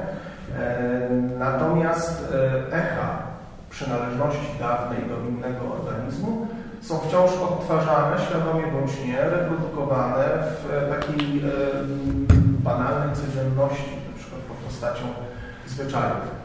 Pewnie dałoby radę, również w aspekcie tym e, pamięci logicznym, zobaczyć, jak pewne wzory historyczne trwają, bądź niektóre już może nie, gdy zestawić cieszyńskość, kulturę Śląska Cieszyńskiego, chociażby z kulturami krain, ziem e, sąsiednich, czy to mówiąc o e, Górnym Śląsku, czy to o, o Podbeskidziu, prawda, o ziemi żywieckiej, zachodniej Małopolsce, czy, czy w ogóle przekraczając granicę państwową e, do Czech. Transgraniczność to druga z kategorii, która mogłaby tutaj być użyteczna. Transgraniczność to taki pewien stan docelowy, e, bardzo mocno zaawansowanych integracyjnie stosunków e, ponad granicą czy transgranicznych, jaki może, aczkolwiek to jest poważne wyzwanie, jaki może wytworzyć się pomiędzy aktorami, podmiotami, członkami dwóch zbiorowości oddzielonych granicą. Jak powiedziałem, to jest e, poważne wyzwanie, w zasadzie można by mówić o różnych stopniach czy etapach dochodzenia do owej transgraniczności, a wspominam o niej dlatego, że jednym z elementów tej transgraniczności jest wspólnota wartości, w tym wspólnota pamięci. A więc o ile transgraniczność, na przykład w Cieszynie, e, jest e, bardzo mocno eksploatowana na poziomie codzienności, chociażby od drobnych zakupów, usług itd., tak o tyle pytanie, y, jak daleko jest się y, od tego etapu, kiedy o danej ziemi, o, historii danej ziemi myśli się wspólnymi kategoriami albo przynajmniej jakoś do siebie y, zbliżonymi. To jest pewien typ idealny, rzecz jasna, to znaczy sytuacja, kiedy przedstawiciele dwóch narodów oddzielonych granicą myślą o swojej historii, na dodatek trudnej historii, w sposób dosyć zbieżny. Ale myślę, że takim punktem odniesienia, wzorem to może byłoby za dużo powiedziane, ale punktem odniesienia może być myślenie o wspólnej historii w miastach podzielonych pogranicza polsko-niemieckiego. Jak wiemy, sytuacja historyczna, polityczna od czasów już po 1945 yy, wyglądała tam zupełnie inaczej niż w realiach polsko-czeskich, polsko-czesko-cieszyńskich. E, niemniej e, tu mamy pewną e, specyfikę lokalną, to znaczy o ile zasadniczo polsko-czeskie sprawy nie uchodzą za obciążone historycznie i pewnie zasadniczo takimi nie są, o tyle należałoby zrobić przypis, nie dotyczy Śląska Cieszyńskiego. Z drugiej strony, patrząc na, na współczesną pamięć i, i rozumienie, interpretację dziejów e, polsko-niemieckich, szczególnie na pograniczu, możemy zobaczyć innego rodzaju opozycję. To znaczy, o ile na poziomie centralnym wątki polsko-niemieckie bywają e, wykorzystywane, żeby nie powiedzieć instrumentalizowane, to na pograniczu ten, ta kwestia w miastach podzielonych na przykład, ale nie tylko, e, przedstawia się dużo łagodniej. Nie dlatego, że mieszkańcy Słubic czy Zgorzelca nie wiedzą, co było w latach 39-45, ale dlatego, że po pierwsze pewne elementy historyczne były przepracowywane również na gruncie politycznym, edukacyjnym itd., tak a poza tym pamięć polsko-niemiecka jest z perspektywy centralnej, czy, czy Polski centralnej, wschodniej, jest nasycona innymi komponentami, aniżeli tymi, niżeli tam e, na dole, w sferze lokalnej. W zasadzie powinienem powiedzieć odwrotnie. Lokalnie pamięta się nie tylko o przeszłości, bardzo burzliwej, ale dochodzi do tego cała masa innych elementów, które są nieobecne albo słabo obecne e, w centralnym czy wschodnim e, wymiarze pamięci o sprawach polsko-niemieckich. I ostatnia kategoria, człowiek pogranicza, to kategoria też, po którą socjologia pogranicza sięga E, chętnie. Są rzecz jasna, jak to jak przystało na poważną kategorię, różne jej rozumienia. Ja chciałbym się ograniczyć do tego jednego, to znaczy człowiek pogranicza jako ten, kto posiada pewne właściwości odróżniające go od człowieka z interioru czy z centrum. To zarazem jest jeden z elementów konstytutywnych dla socjologii pogranicza, pokazującej, że ona zajmuje się obszarem posiadającym pewną swoją specyfikę. E, człowiek pogranicza może się wyróżniać od człowieka z interioru e, innym stosunkiem do sąsiada, czasem lepszym, czasem gorszym. Tu nie popadamy w idealizację, że to musi być miłość. E, doświadczenia z polskich pograniczy pokazują, że na niektórych pograniczach ten stosunek do sąsiada jest cieplejszy niż w skali ogólnopolskiej, na innych jest to e, odwrotnie. Człowiek pogranicza może się też różnić w stosunku do e, człowieka z interioru właśnie kształtem pamięci historycznej, pamięci wspólnych realiów. Tu przypadek Cieszyna pasuje idealnie, bo powtórzę, ogląd sytuacji polsko-czeskich, w tym silny komponent historyczny e, w perspektywie ogólnopolskiej, ogólnonarodowej jest e, na pewno dużo dla Czechów korzystniejszy, aniżeli na płaszczyźnie e, lokalnej, żeby nie powiedzieć wyłącznie śląsko-cieszyńskiej. Sondaże Cabosu nie pozostawiają wątpliwości, że od kilkunastu lat Czesi są z językiem sportowym na pudle notorycznie, nieraz będąc na szczycie. I chyba maleje nam y, zasadniczo liczba osób, które szczególnie z pokolenia młodego czy, czy średniego, które potrafiłyby wskazać jakieś pierwiastki historyczne antagonizujące Polaków i Czechów. Natomiast w perspektywie lokalnej, jak wiemy, wygląda to inaczej. I dwa wątki na podsumowanie tego, co powiedziałem, y, albo też kreślące pewne pola do, do, do dalszych analiz. Pierwsza sprawa to akcentowanie, y, ja nie twierdzę, że ono jest dominantą y, śląsko-cieszyńskiej tożsamości lokalnej, ale ponieważ y, no, nie należą do rzadkości głosy akcentujące negatywny wymiar tej, tej, tego tustelanizmu, no to można by się zastanowić, czy nie pojawia się tutaj element, tak psychologizując nieco, kompensacyjnej funkcji pamięci, to znaczy Skoro kiedyś Śląsk Cieszyński, czy nawet dalej patrząc, Księstwo Cieszyńskie było czymś um, bardziej znaczącym terytorialnie, kulturowo, również ekonomicznie, aniżeli ziemie sąsiednie, w tym ziemię dzisiejszej Polski, no to warto ten element pielęgnować, tym bardziej, że współczesność no, nie wydaje się dorastać do tych aspiracji zrodzonych przez przeszłość. Czyli skoro współcześnie nie jesteśmy w stanie mieć takiego wyobrażenia, tak pozytywnego wyobrażenia o cieszyńskości, jak to było kiedyś, to przynajmniej e, warto ten obraz, mit do dyskusji e, kultywować. E, I na podobnej zasadzie, skoro centrala nas nie rozumie w wymiarze mnemonicznym, czyli pamięciologicznym, to tym bardziej warto mamy do wyboru albo zarzucić naszą lokalną narrację i dostosować się do ogólnonarodowej, albo tym bardziej akcentować i pielęgnować to, co e, lokalne, żeby pokazać, że e, nie istnieje tylko jeden wzór myślenia o relacjach, no, w tym przypadku polsko-czeskich. I zamykając, w badaniach pamięciologicznych już od jakiegoś czasu mówi się o kategorii pewnego zwrotu transkulturowego, czyli próbach badania wspólnego badania wspólnej przyszłości w takim e, ujęciu dialogicznym.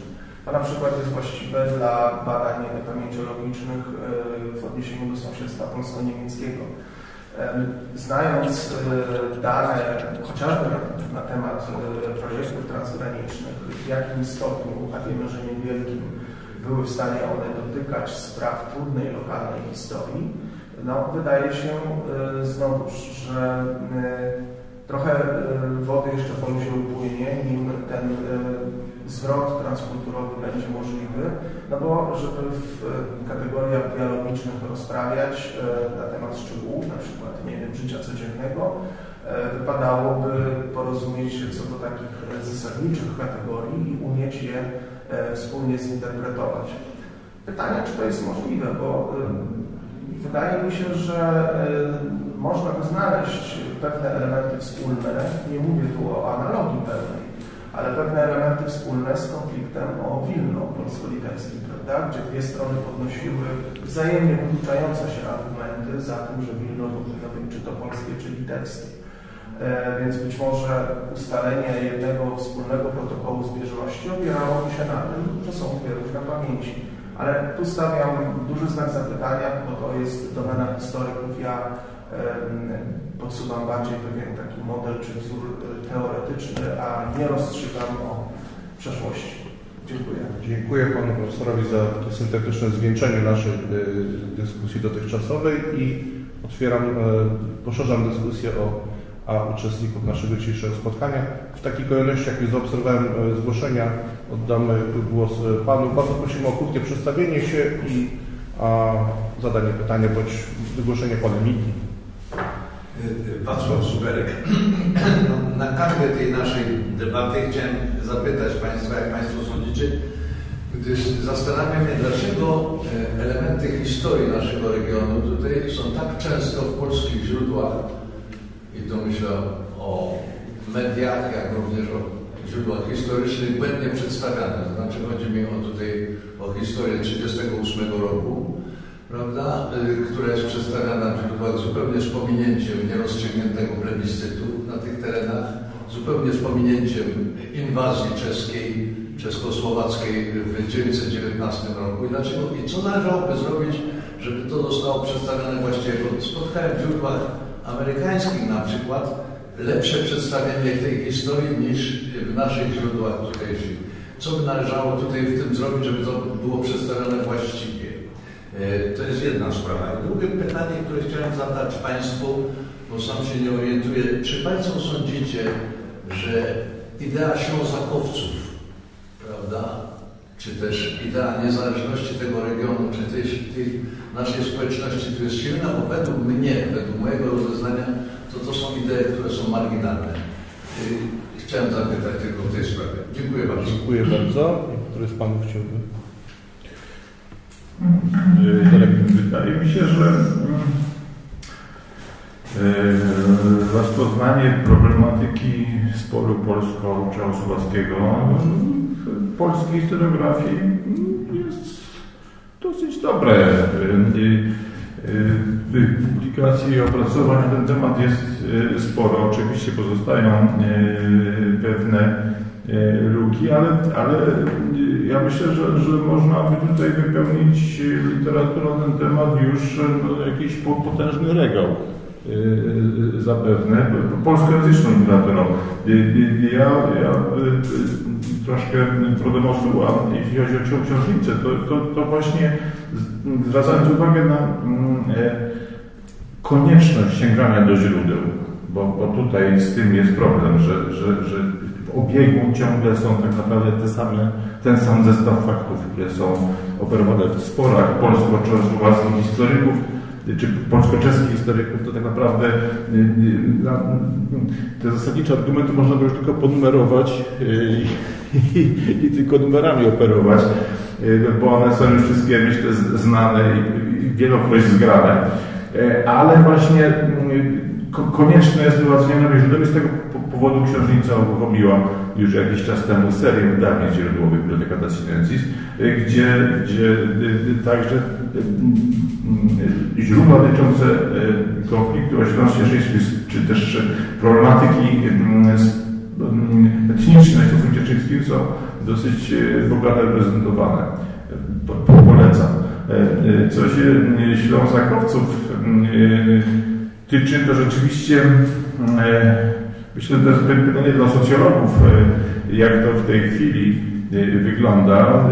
E, Raś tutaj robił podejścia pod Śląsk Cieszyński wielokrotnie na różne sposoby z różnych flanek. Ostatnio, co mnie przyznam, zaskakuje, pojawił się taki sojusz lewicowo-ślązakowski, mocno myślę to zaczęło jakoś rezonować, co mnie zaskakuje i, bawi o tyle, że taki właśnie bardzo progresywna lewica wydaje się znaleźć pod urokiem no, jednak takiej narracji najbardziej powiedziałbym wstecznej czy, czy, czy reakcyjnej, powiem patriarchalnej, bo przecież tak ślązakostwo w swojej istocie, y, no to była gloryfikacja tego odwiecznego porządku z cesarzem Wiedniu, z tacinkiem w parafii ojcem groźnym rodziny y, w domu i utrzymaniem całego tego starego y, porządku. Tymczasem no jest, jest ostatnio tak, to nawet się tutaj uruchomił pewien lewicowy publicysta w Cieszynie, który e, Ślązakostwo w Cieszynie jakby na nowo stara się e, wykreować. Czy to się uda? Nie wiem. Po, po naszej stronie ten odzew nie jest wyraźnie widoczny, ale pewnie to wszystko ujawnią e, wyniki spisu za rok pewnie. Taki drobny przypis w poprzednim spisie, nie wiem czy Państwo się orientują, zdaje się 922 osoby zadeklarowały narodowość śląsko-cieszyńską. A, I to był ewenement na skalę ogólnopolską, dlatego że obok narodowości śląskiej nagle pojawiła się jakaś egzotyczna, dodatkowa narodowość, prawda? Ale jestem ciekaw, jak to będzie w tym spisie w poprzednim. Panie, panie profesorze? To znaczy, ja powiem bardzo krótko, jeżeli chodzi o tych Ślązakowców, to mi się nie wydaje, że jest tutaj jakiś potencjał kreowania postaw separatystycznych i tak dalej w rozumieniu jakimś administracyjnym. E, mi, mi się wydaje, że no, no co, co najwyżej można tutaj mówić o kreowaniu jakiejś świadomości regionalnej, czyli tutaj akurat żadnego niebezpieczeństwa bym, e, bym nie dostrzegał. A jeżeli chodzi o, o to pytanie o właściwie obecność tego roku 1919 w tym dyskursie publicystycznym, no to jest właśnie problem. To jest właśnie problem, że to nie zawsze, nie zawsze jest tak, że ta wiedza, która została opracowana w tym dyskursie naukowym przez historyków i tak dalej, że ona się przekłada, przekłada na ten dyskurs publicystyczny. To jest po prostu, to są reguły kreowania tekstów potocznych, że tekst potoczny musi trafiać do świadomości łatwo, musi być łatwo przystępny, łatwo zrozumiały, musi szybko trafiać do świadomości wielkiej ilości odbiorców. I dlatego, proszę Państwa, te teksty publicystyczne, no one muszą traktować tę przeszłość w taki sposób wyrywkowy, symboliczny, bezkontekstowy, unikać wszelkich zawiłości i po prostu iść po linii takich łatwych, tak jak w bajce magicznej, bo to właściwie e, folklor e, czasów przednowoczesnych może tutaj przypominać współczesne teksty publicystyczne, czyli takie e, kreowanie tej rzeczywistości w, w kategorii dobre, złe, czarno, e, czarne, białe. Jeden, jak jeden jest ofiarą w jednym kontekście, to w drugim kontekście też musi być ofiarą, nie może być agresorem, bo jak to? Ten sam, ta sama, ta sama zbiorowość po prostu cierpiała i ta sama zbiorowość atakowała. To jest tak, jak na przykład jest dla nas niezrozumiały na przykład ruch oporu tam na Dolnym Śląsku, w Krzyżowej, e, przeciwko nazizmowi, który, e, e, który po prostu był organizowany przez Niemców. To jak to? Niemcy przeciwko Niemcom, czyli, czyli ten dyskurs publicystyczny przypomina, przypomina język potoczny, który po prostu kładzie nacisk na takie upraszczanie. I to jest moim zdaniem taki naj, naj, naj, najłatwiej mi się nasuwający powód tego wszystkiego. Dziękuję jedno zdanie jeszcze pewnego dopowiedzenia czy sprostowania. Mówiąc o obfitości publikacji, to miałem na względzie wyłącznie literaturę naukową, bo z publicystyką rzeczywiście bywa różnie i kluczem do tego może być to, o czym wspomniał pan profesor Dębicki, że dla e, Polaków z, z głębi Polski e, Ślązacy jako Polacy są mało interesujący. Prawda? Atrakcyjniejsi, y, bardziej medialni są y, y, Ślązacy, którzy odkrywają swoją odrębność, swoją tożsamość. I w związku z tym nimi się warto zajmować. I to jest takie zjawisko, które ja obserwuję już od dłuższego czasu, które nawet objawiam w tym, że pojawiają się także na Śląsku Cieszyńskim, że Cieszynie ludzie, że przyjeżdżają z różnych odległych stron i nawracają Ślązaków cieszyńskich na śląskość. No, tak, jak, jak przed 125 laty przyjeżdżali y, z, z Galicji y, Polacy i nawracali y, Ślązaków, także cieszyńskich, na polskość, tak teraz mamy sytuację odwrotną. Przyznam, że to mnie osobiście niezwykle irytuje. Jeszcze pan profesor? Ja muszę powiedzieć, że, że trochę inaczej widzę ten temat. To znaczy na użytek naszej dyskusji Przypomniałem sobie dwa teksty publicystyczne z opcji, hmm, jakby je określić, na pewno nie prawicowych, powiedzmy centrolewicowych, mam na myśli tygodnik Polityka i tygodnik Powszechny, e, które opublikowały teksty na, no właśnie, wokół wydarzeń 1918-20 z okazji setnej rocznicy. I yy, rzecz jasna, nie wiem do końca, jakie konkretnie elementy przeszłości Pan ma na myśli, ale nawiązując do tych yy, chyba najważniejszych, o których również Pan wspomniał, E, to była mowa po pierwsze o plebiscycie, który się nie odbył i dlaczego się nie odbył, umieszczając wątek w szerszej, e, na tle szerszym geopolitycznym. Była mowa o e, zbrodniach czeskich z roku 1919, wbrew wszelakim konwencjom. Była też tam mowa o sprawach związanych z strukturą etniczną Śląska Cieszyńskiego wedle spisu z 1910 roku. A więc te, te wątki, na, te trzy teraz mi przychodzą do, głosu, do, do głowy. Te wątki, które mogłyby być, e, o które e, można by się upominać jako e, wątkach korzystnych dla Polaków albo niekorzystnych dla strony czeskiej, moim zdaniem są obecne. Pytanie po prostu, czym jest publicystyka, kto do tego sięga i do jakich elementów. Prawda? Bo dziś treści mamy w, bardzo dużo w różnych kanałach. Więc myślę, że dla chcącego nic trudnego. Natomiast to jest pewnie też po części e, element szerszego problemu, to znaczy tego, że nasza polska pamięć historyczna przebiega e, równoleżnikowo, prawda? Czyli bardziej nas interesują, dotykają, bolą kwestii na linii wschód-zachód, na tym przeciągu historycznym, w którym się znajdujemy. Natomiast pamięć południkowa w odniesieniu do spraw czeskich, nie mówiąc o słowackich, e, w zasadzie nie istnieje co z kolei jest jakoś uzasadnione, to znaczy tym, że w dziejach ogólnonarodowych, a przecież państwa narodowe dbają o, o to, żeby pamięć ogólnonarodowa była, była na wierzchu, te wątki, nie chcąc umniejszać niczyjego cierpienia, chyba jednak są rzeczywiście innego kalibru, są i były innego kalibru, aniżeli w tym przeciągu. Dziękuję. Dziękuję. Pani chciała zadać Pytanie, bardzo proszę. Tylko bardzo proszę do mikrofonu, dobrze, bo to się nagrywa na Dziękuję bardzo, Barbara Grabowska. E, do profesora Dębickiego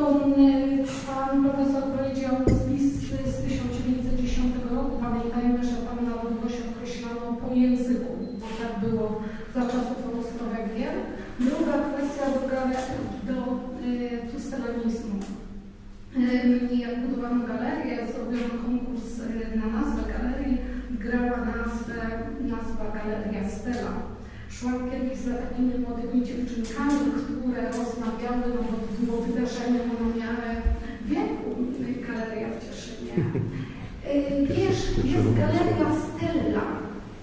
Pójdziemy do galerii, do Stelli pójdziemy, do galerii do Stelli pójdziemy. Także dla tych młodych dziewczynek to Stella, nie wiem czy one znają takie określenia, to bardziej nasze pokolenie i osoby z zewnątrz, aczkolwiek ja nie jestem Stella, jestem filozofia. E, to, tak, to takie treści lżejsze, a teraz do e, wystąpień do, do debaty. Mówiliście Panowie o treści pamięci. Należałoby chyba wspomnieć, wskazać na różne poziomy oficjalności tych treści, bo we mnie budzi się takie pytanie dotyczące treści na pomniku prezydenta Tomasza Masaryka, pomnik postawiony w Alejach Masaryk, w sadach Masarykowych podczas Alei Masaryka na Saksenbergu, o ile znam Cieszyn czeski.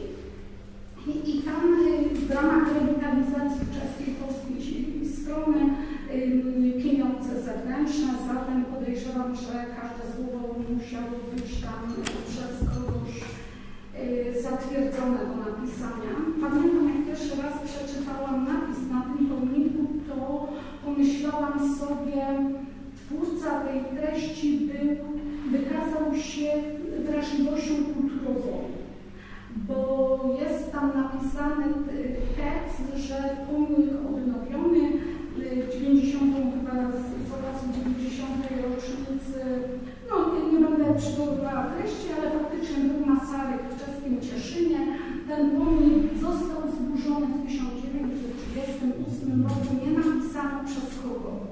Także ta pomoc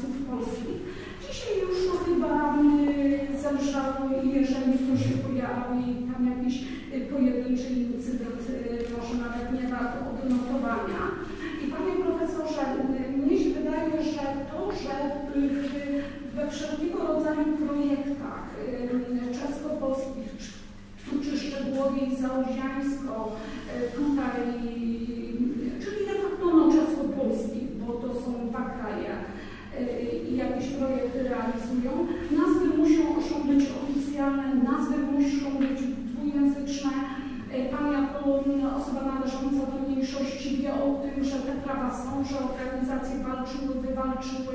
Przypomnijmy sprawę likwidacji Szkoły Polskiej w Trzyńcu na Tarasie, bo przecież w Brukseli ten przywoływany wcześniej prezydent Kaczyński lobbował, aby e, bronić tej Szkoły Polskiej na Tarasie. I aktualnie pisze tekst wprawdzie o szkolnictwie, Mhm. przyszłości, też z panowną Czerną w moim prolufarze studiów.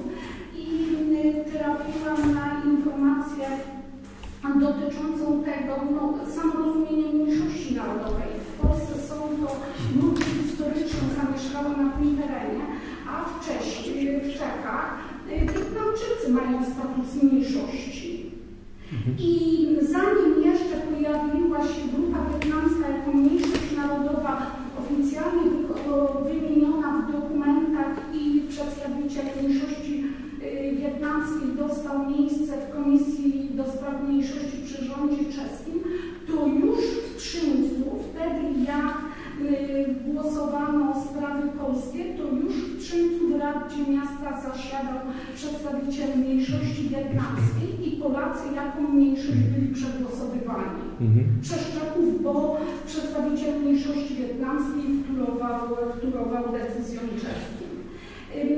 Natomiast z polskiej strony, że się pojawiają napisy czeskie, a nie polskie, bo przecież mamy grudek, mamy łąki i tak dalej, to tutaj no nie będzie to na obronę publicystyki należałoby to wiązać z ignorancją, z brakiem wiedzy historycznej, brakiem profesjonalizmu, chyba że chcemy takiemu wydarzeniu jak ta kładka nadać rangę międzynarodową. Jeżeli napiszemy, że w Łąkach koło Karwiny, no to co to za połączenie, jak dwie polskie y, y, nazwy miejscowości, no to tu nikt nie pomyśli, że to jest międzynarodowe narodowe wydarzenie. Zatem tak bym, tak bym to w jakiś sposób Ale jeszcze chciałam zapytać, bo Pan Profesor zadawał pytanie, co należało, co chcielibyśmy zapomnieć. Niech z nie wspomniał o 68 roku. Czy to dlatego, że już nie chcemy pamiętać?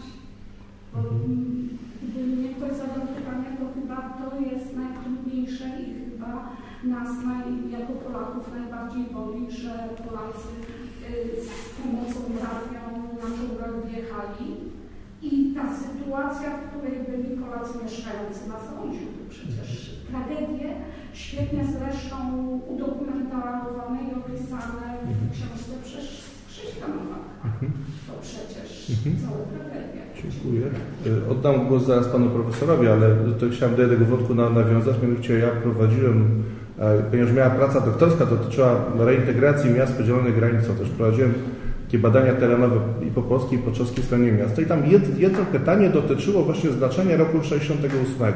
To, co było dla mnie największym zaskoczeniem, to to, że wśród czeskich respondentów, znaczy Czechów, Czechów, nie, nie Polaków na Zaoziu, to ta, ta data nie rodziła jakichś takich dużych kontrowersji czy jakichś emocji.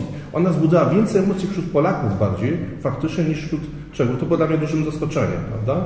Bo spodziewałem się, że to będzie takie, taka okazja do tego, żeby by wysłuchać jakieś oskarżenia, jakieś pretensje, że to ktoś jakby zewnętrznie, a, a, a tak nie było. A to tak tylko, tylko powiedzenia. Jeśli ja też ale- do, do powiedzenia, bo to myślę, że, że, że, że tak naprawdę w tej perspektywie cieszyńskiej to to była y, rzeczywiście tragedia, ale w takim wymiarze załoziańskim, czy nawet pewien przełom, bo wtedy tak naprawdę załoziańscy Polacy wypisali się z polskiej wspólnoty losu, a zapisali się do czeskiej. Panie profesorze, dziękuję. Ja się chciałem tylko odnieść do, tych, em, do tej dwujęzyczności, bo ja chyba nie, nie zostałem e, dobrze e, przez Panią Profesor zrozumiany. Ja nie mówiłem o jakichś umowach międzynarodowych. Ja mówi, mówiłem o publicystyce, o relacjonowaniu tego. I tutaj pod tym względem ja nie chcę używać jakichś e, po prostu e, z, no, nie, nie, niesto, niestosownych e, porównań, ale mi to zaczyna przypominać cyrk Monty Pythona. Pod tym względem, że po czeskiej stronie granicy te nazwy naprawdę są obydwie oficjalne i one są nie tylko na, na kierunkowskazach i, i, i tak dalej, czyli one są oficjalne. Natomiast tutaj po tej stronie granicy oficjalne nie są, nawet jeżeli po prostu e, legislatywa funkcjonująca po polskiej stronie granicy właściwie by to nawet umożliwiała. I ja mogę dać taki, e, taki e, przykład, ja nie wiem, kierunkowskazu, gdzie jest napisane Trinec. I proszę Państwa, to nie jest ani po czesku, ani po polsku, no najwyraźniej po słowacku, nie bez tego, bez tego daszka nad R. I proszę Państwa, co, co to jest? Czyli, e, czyli tutaj e, e, nie, nie, nie mamy tutaj jakiegoś długu, nie, nie mamy tutaj e, jakiegoś długu wobec, e, wobec tych, e, tych wspólnot pamięci. To jest jedna rzecz, a jeżeli mogę jeszcze dwa zdania na temat interesu państwa narodowego. Zabrzmiała tu taka teza, że trzeba respektować interes pa- państwa narodowego. Jak najbardziej.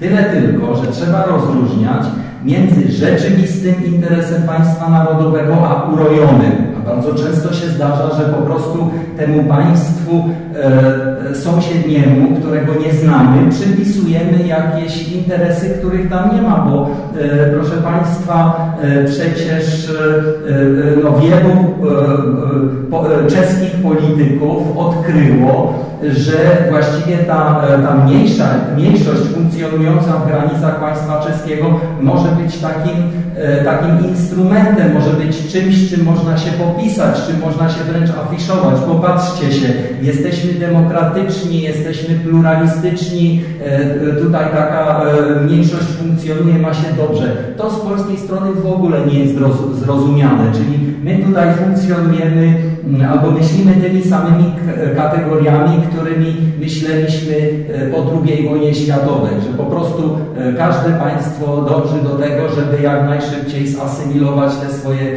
e, te swoje mniejszości i, i tutaj i my właściwie w ramach jakiejś poprawności politycznej powinniśmy, powinniśmy temu pomagać. I, ale to jest zupełnie, zupełne niezrozumienie sytuacji panującej po czeskiej stronie granicy. Jeśli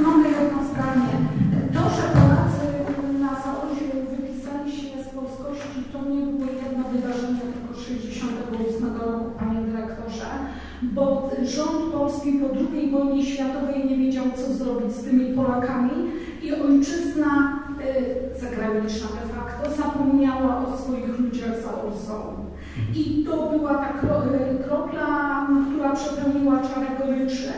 I to, że Zaosia nie ma dzisiaj w dyskursie polskim. Ja y, urodziłam się w Jędrzejowie w województwie, no dzisiaj świętokrzyskim, kiedyś kieleckim. I ja facto no, na, w szkole na historii nie uczyłam się o Zaoziu, y, w telewizji nie było nigdzie o Zaoziu i dzisiaj wystarczy, nie wiem, czy pan profesor pyta studentów, tych, którzy przyjechali na studia do Cieszyna, albo tych, którzy mieszkają na Śląsku Cieszyńskim, czy byli w czeskim Cieszynie? Bo ja takie pytanie zadaję. A oni nie byli, no po co? Ja mówię, no z ciekawości, choćby tak jak ten dziennikarz, żeby wiedzieć, jakie piwo tam sprzedają. Także za oczy w polskiej świadomości no, są te dwa teksty przywołane przez pana profesora, ale jak często, no, dzisiaj w podręcznikach już uczeń przeczyta, ale to, że przeczyta, to zależy od tym, jak długo będzie o tym mhm. pamiętał. I popatrzmy, przez wiele lat Polska, tak PRL, jak i Rzeczpospolita, bardziej i woli bardziej pamiętać o Polonii, mhm. bo to jest takie, no w Brazylii, gdzie nie zajedziemy, gdzie nie zajedziemy, mamy Polonię. A tu Polacy za, za Niemcą, to co u nich pamiętać? No, wystarczy to odnieść do, do Polaków na Litwie choćby nawet, prawda? Bo to jest pewna symetria, ale mówi się dużo o Polakach na Litwie, a praktycznie... A to, że Polacy okay. na zaoczy są zapomnieni i mogą mieć o to żal. Mhm. Pani dziękuję bardzo. Mamy jeszcze 8 minut, a chcielibyśmy się trzymać tego reżimu czasowego. Kończymy godzinę 15, także ostatni głos bardzo proszę. Zwrócę uwagę na pominięte wątki. Tadeusz Kania, Macierzy Cieszyńskiej, PTH. Proszę Państwa, strażnicy pamięci zaczynają wymierać. Przeciętna wieku w kołach macierzy jest grubo powyżej 70 lat. Ja obniżam tą średnią, mimo że jestem dwa na emeryturze. W związku z tym, jak ważna rola jest osób indywidualnych. Czy byłby na przykład, byłoby Muzeum Czwartego Pułku, gdyby nie hobbyści, militaryści? Macierz Cieszyński akurat grupuje i militarystów, i tych rekonstruktorów, i, i także gdyby nie ludzie indywidualni, bo pamiętnikarze, albo jacyś publicyści, którzy z pozycji z, z, z nadmorza, pan Golec, gdyby on nie napisał kilkunastu y, różnych książek, niektórych grubych słownik geograficzny Śląska Cieszyńskiego. Niektórzy mu tego zazdrościli, bo nie miał grantów na to, a pracował tak, jakby był na uniwersytecie. Czyli niestety y, strażnicy pamięci zaczynają wymierać. Teraz tak, cieszy. Proszę Państwa, ja pamiętam, jak byłem radnym, Oczywiście była komisja nazewnicza do spraw ulic i zawsze musiało być oczywiście członek PZP decydował. Pamiętam, jak zmieniały się nazwy ulic, prawda? Waniołki i innych, prawda, to jest ulica ostatecznie, ale to jest walka także o nazwy ulic. My nie mamy tego zmartwienia, co Warszawa, czy ma być KL-u, AL-u, czy Kaczyńskiego, albo czy Rondu Wolnego Miasta Gdańska. Ale pamięć historyczna związana jest ze świadomością polityczną. I jeżeli ktoś nie ma świadomości historycznej, najczęściej ma dziwną świadomość polityczną i nie ma świadomości klasowej. I teraz ja tutaj dotknę pewnych rzeczy. Otóż proszę zwrócić uwagę, że bardzo często w rejonach zamieszkałych przez mniejszości, Śląsko-Polski, Podlasie, Śląsk Cieszyński, od 30 lat można to sprawdzić w książkach typu Wybory po 1989 roku, opracowania zbiorowe, bo ktoś tu mówił o Ślązakowcach, Dlaczego na przykład na Śląsku Cieszyńskim przecież tu jest wysoki poziom świadomości historycznej w porównaniu z innymi rejonami. Tu wychodziło po wojnie 10 rodzajów kalendarzy. Jak ich uzbrałem 200, się ich pozbyło, zostało 50. Tu, tu była prasa lokalna, gdzie w historii było masę wątków historycznych, oczywiście nie w jakichś cieszyńskich na obcasach, ale już na, w czasopismach, które się kilka lat ukazywały, jakieś tam z Nadolzy. Śląsk Cieszyński, Unia Wolności Proszę Państwa, myśmy byli przesyceni wiedzą. Ja, ja Klepowczyka pamiętam z zebrań PTH. Ostatnim zresztą Pan tutaj chyba, nie wiem czy wyszedł, są 3-4 artykuły o historii w pamiętniku cieszyńskim, łącznie ze Stonawą, prawda, ja piszę tam o konflikcie też. Więc myśmy byli przesyceni, ale z drugiej strony, no przecież była cenzura. Przecież ja pamiętam redaktora Danela, który pewne treści miał komitet miejski piętro wyżej to sekretarz Gowin decydował, czy ten artykuł się ma ukazać, czy nie. Bo pamiętam co z lat 80. Czyli o, o pamięć historyczną należy walczyć. Bo na, na przykład to, ma, to rzutuje na mm, świadomość polityczną. Przecież mieszkańcy Śląska Cieszyńskiego od 30 lat jako całość, nie mówię, bo to decydują miejscowości typu Ustroń, Wisła, Goleszów, trochę Cieszyn, już mniej, głosują tak samo jak mniejszość niemiecka, te same tendencje, to jest kilka procent różnicy. Mniejszość niemiecka na Śląsko-Polskim, prawosławni na Podlasiu czy Biało, Białorusini, prawda, i, i, i, i ruch autonomii Śląska w czterech miastach. Dlaczego tak jest? Czy to wynika ze świadomości historycznej? Przecież, czy, ale czy ludzie pamiętają, kto to byli Ślązakowcy? Że nawet oni mówili, że jesteśmy Polakami, tylko Ślązakami, ale głosowali za a potem jeszcze Poznań został burmistrzem czeskiego Cieszyna z poparciem Czechów. Czyli to ma związek. I ja powiem tak, no niestety, jak się dowiedziałem ostatnio, że trzy najbardziej znienawidzone instytucje przez na przykład pewną opcję polityczną to są IPN do likwidacji, e, CBA i Ordo Juris, a potem dopiero media, no to to, proszę Państwa, to, to Mrożek, Kawka, czyli niby tego nie przewidzieli. Także jako miłośnik regionalizmu, a Macierzywi Cieszyńskie była pierwszym stowarzyszeniem, które się po okresie stalinowskim odrodziło. To ja popieram po prostu y, historię regionu i należy y, pamiętać o świadomości historycznej, bo historycy są na straconych pozycjach. Dlaczego? Proszę Państwa, no to tak jak z prawnikami czy ekonomistami. Powiedzcie mi z jakiego jest uniwersytetu, a powiem Wam jaką wydał opinię. Czy w sprawie prawa konstytucyjnego, czy w sprawie... I to, to jest tak jak z Gibraltarem. Czy to był zamach, czy to była katastrofa, tak jak ze Smoleńskiem. To dziś nie wiadomo. I trzy filmy są, każdy, każdy przedstawia inną wersję. Natomiast fakty historyczne są konkretne, nieodkładalne. Dziękuję bardzo. Proszę Państwa, jest godzina 15 dochodzi, więc już nie mamy za bardzo czasu na, na, na dyskusję. Chciałbym w związku z tym e, bardzo gorąco podziękować naszym e, dzisiejszym dyskutantom za udział e, w dyskusji i, a, i cenne uwagi, ale też podziękować Państwu za, za udział w, w naszym spotkaniu. Mam nadzieję, że a, okazało się ono jakoś wartościowe, interesujące i miejmy nadzieję na, na kolejne spotkania. Także jeszcze raz serdecznie dziękuję i życzymy Państwu miłego dnia. Dziękuję bardzo. Dziękuję bardzo.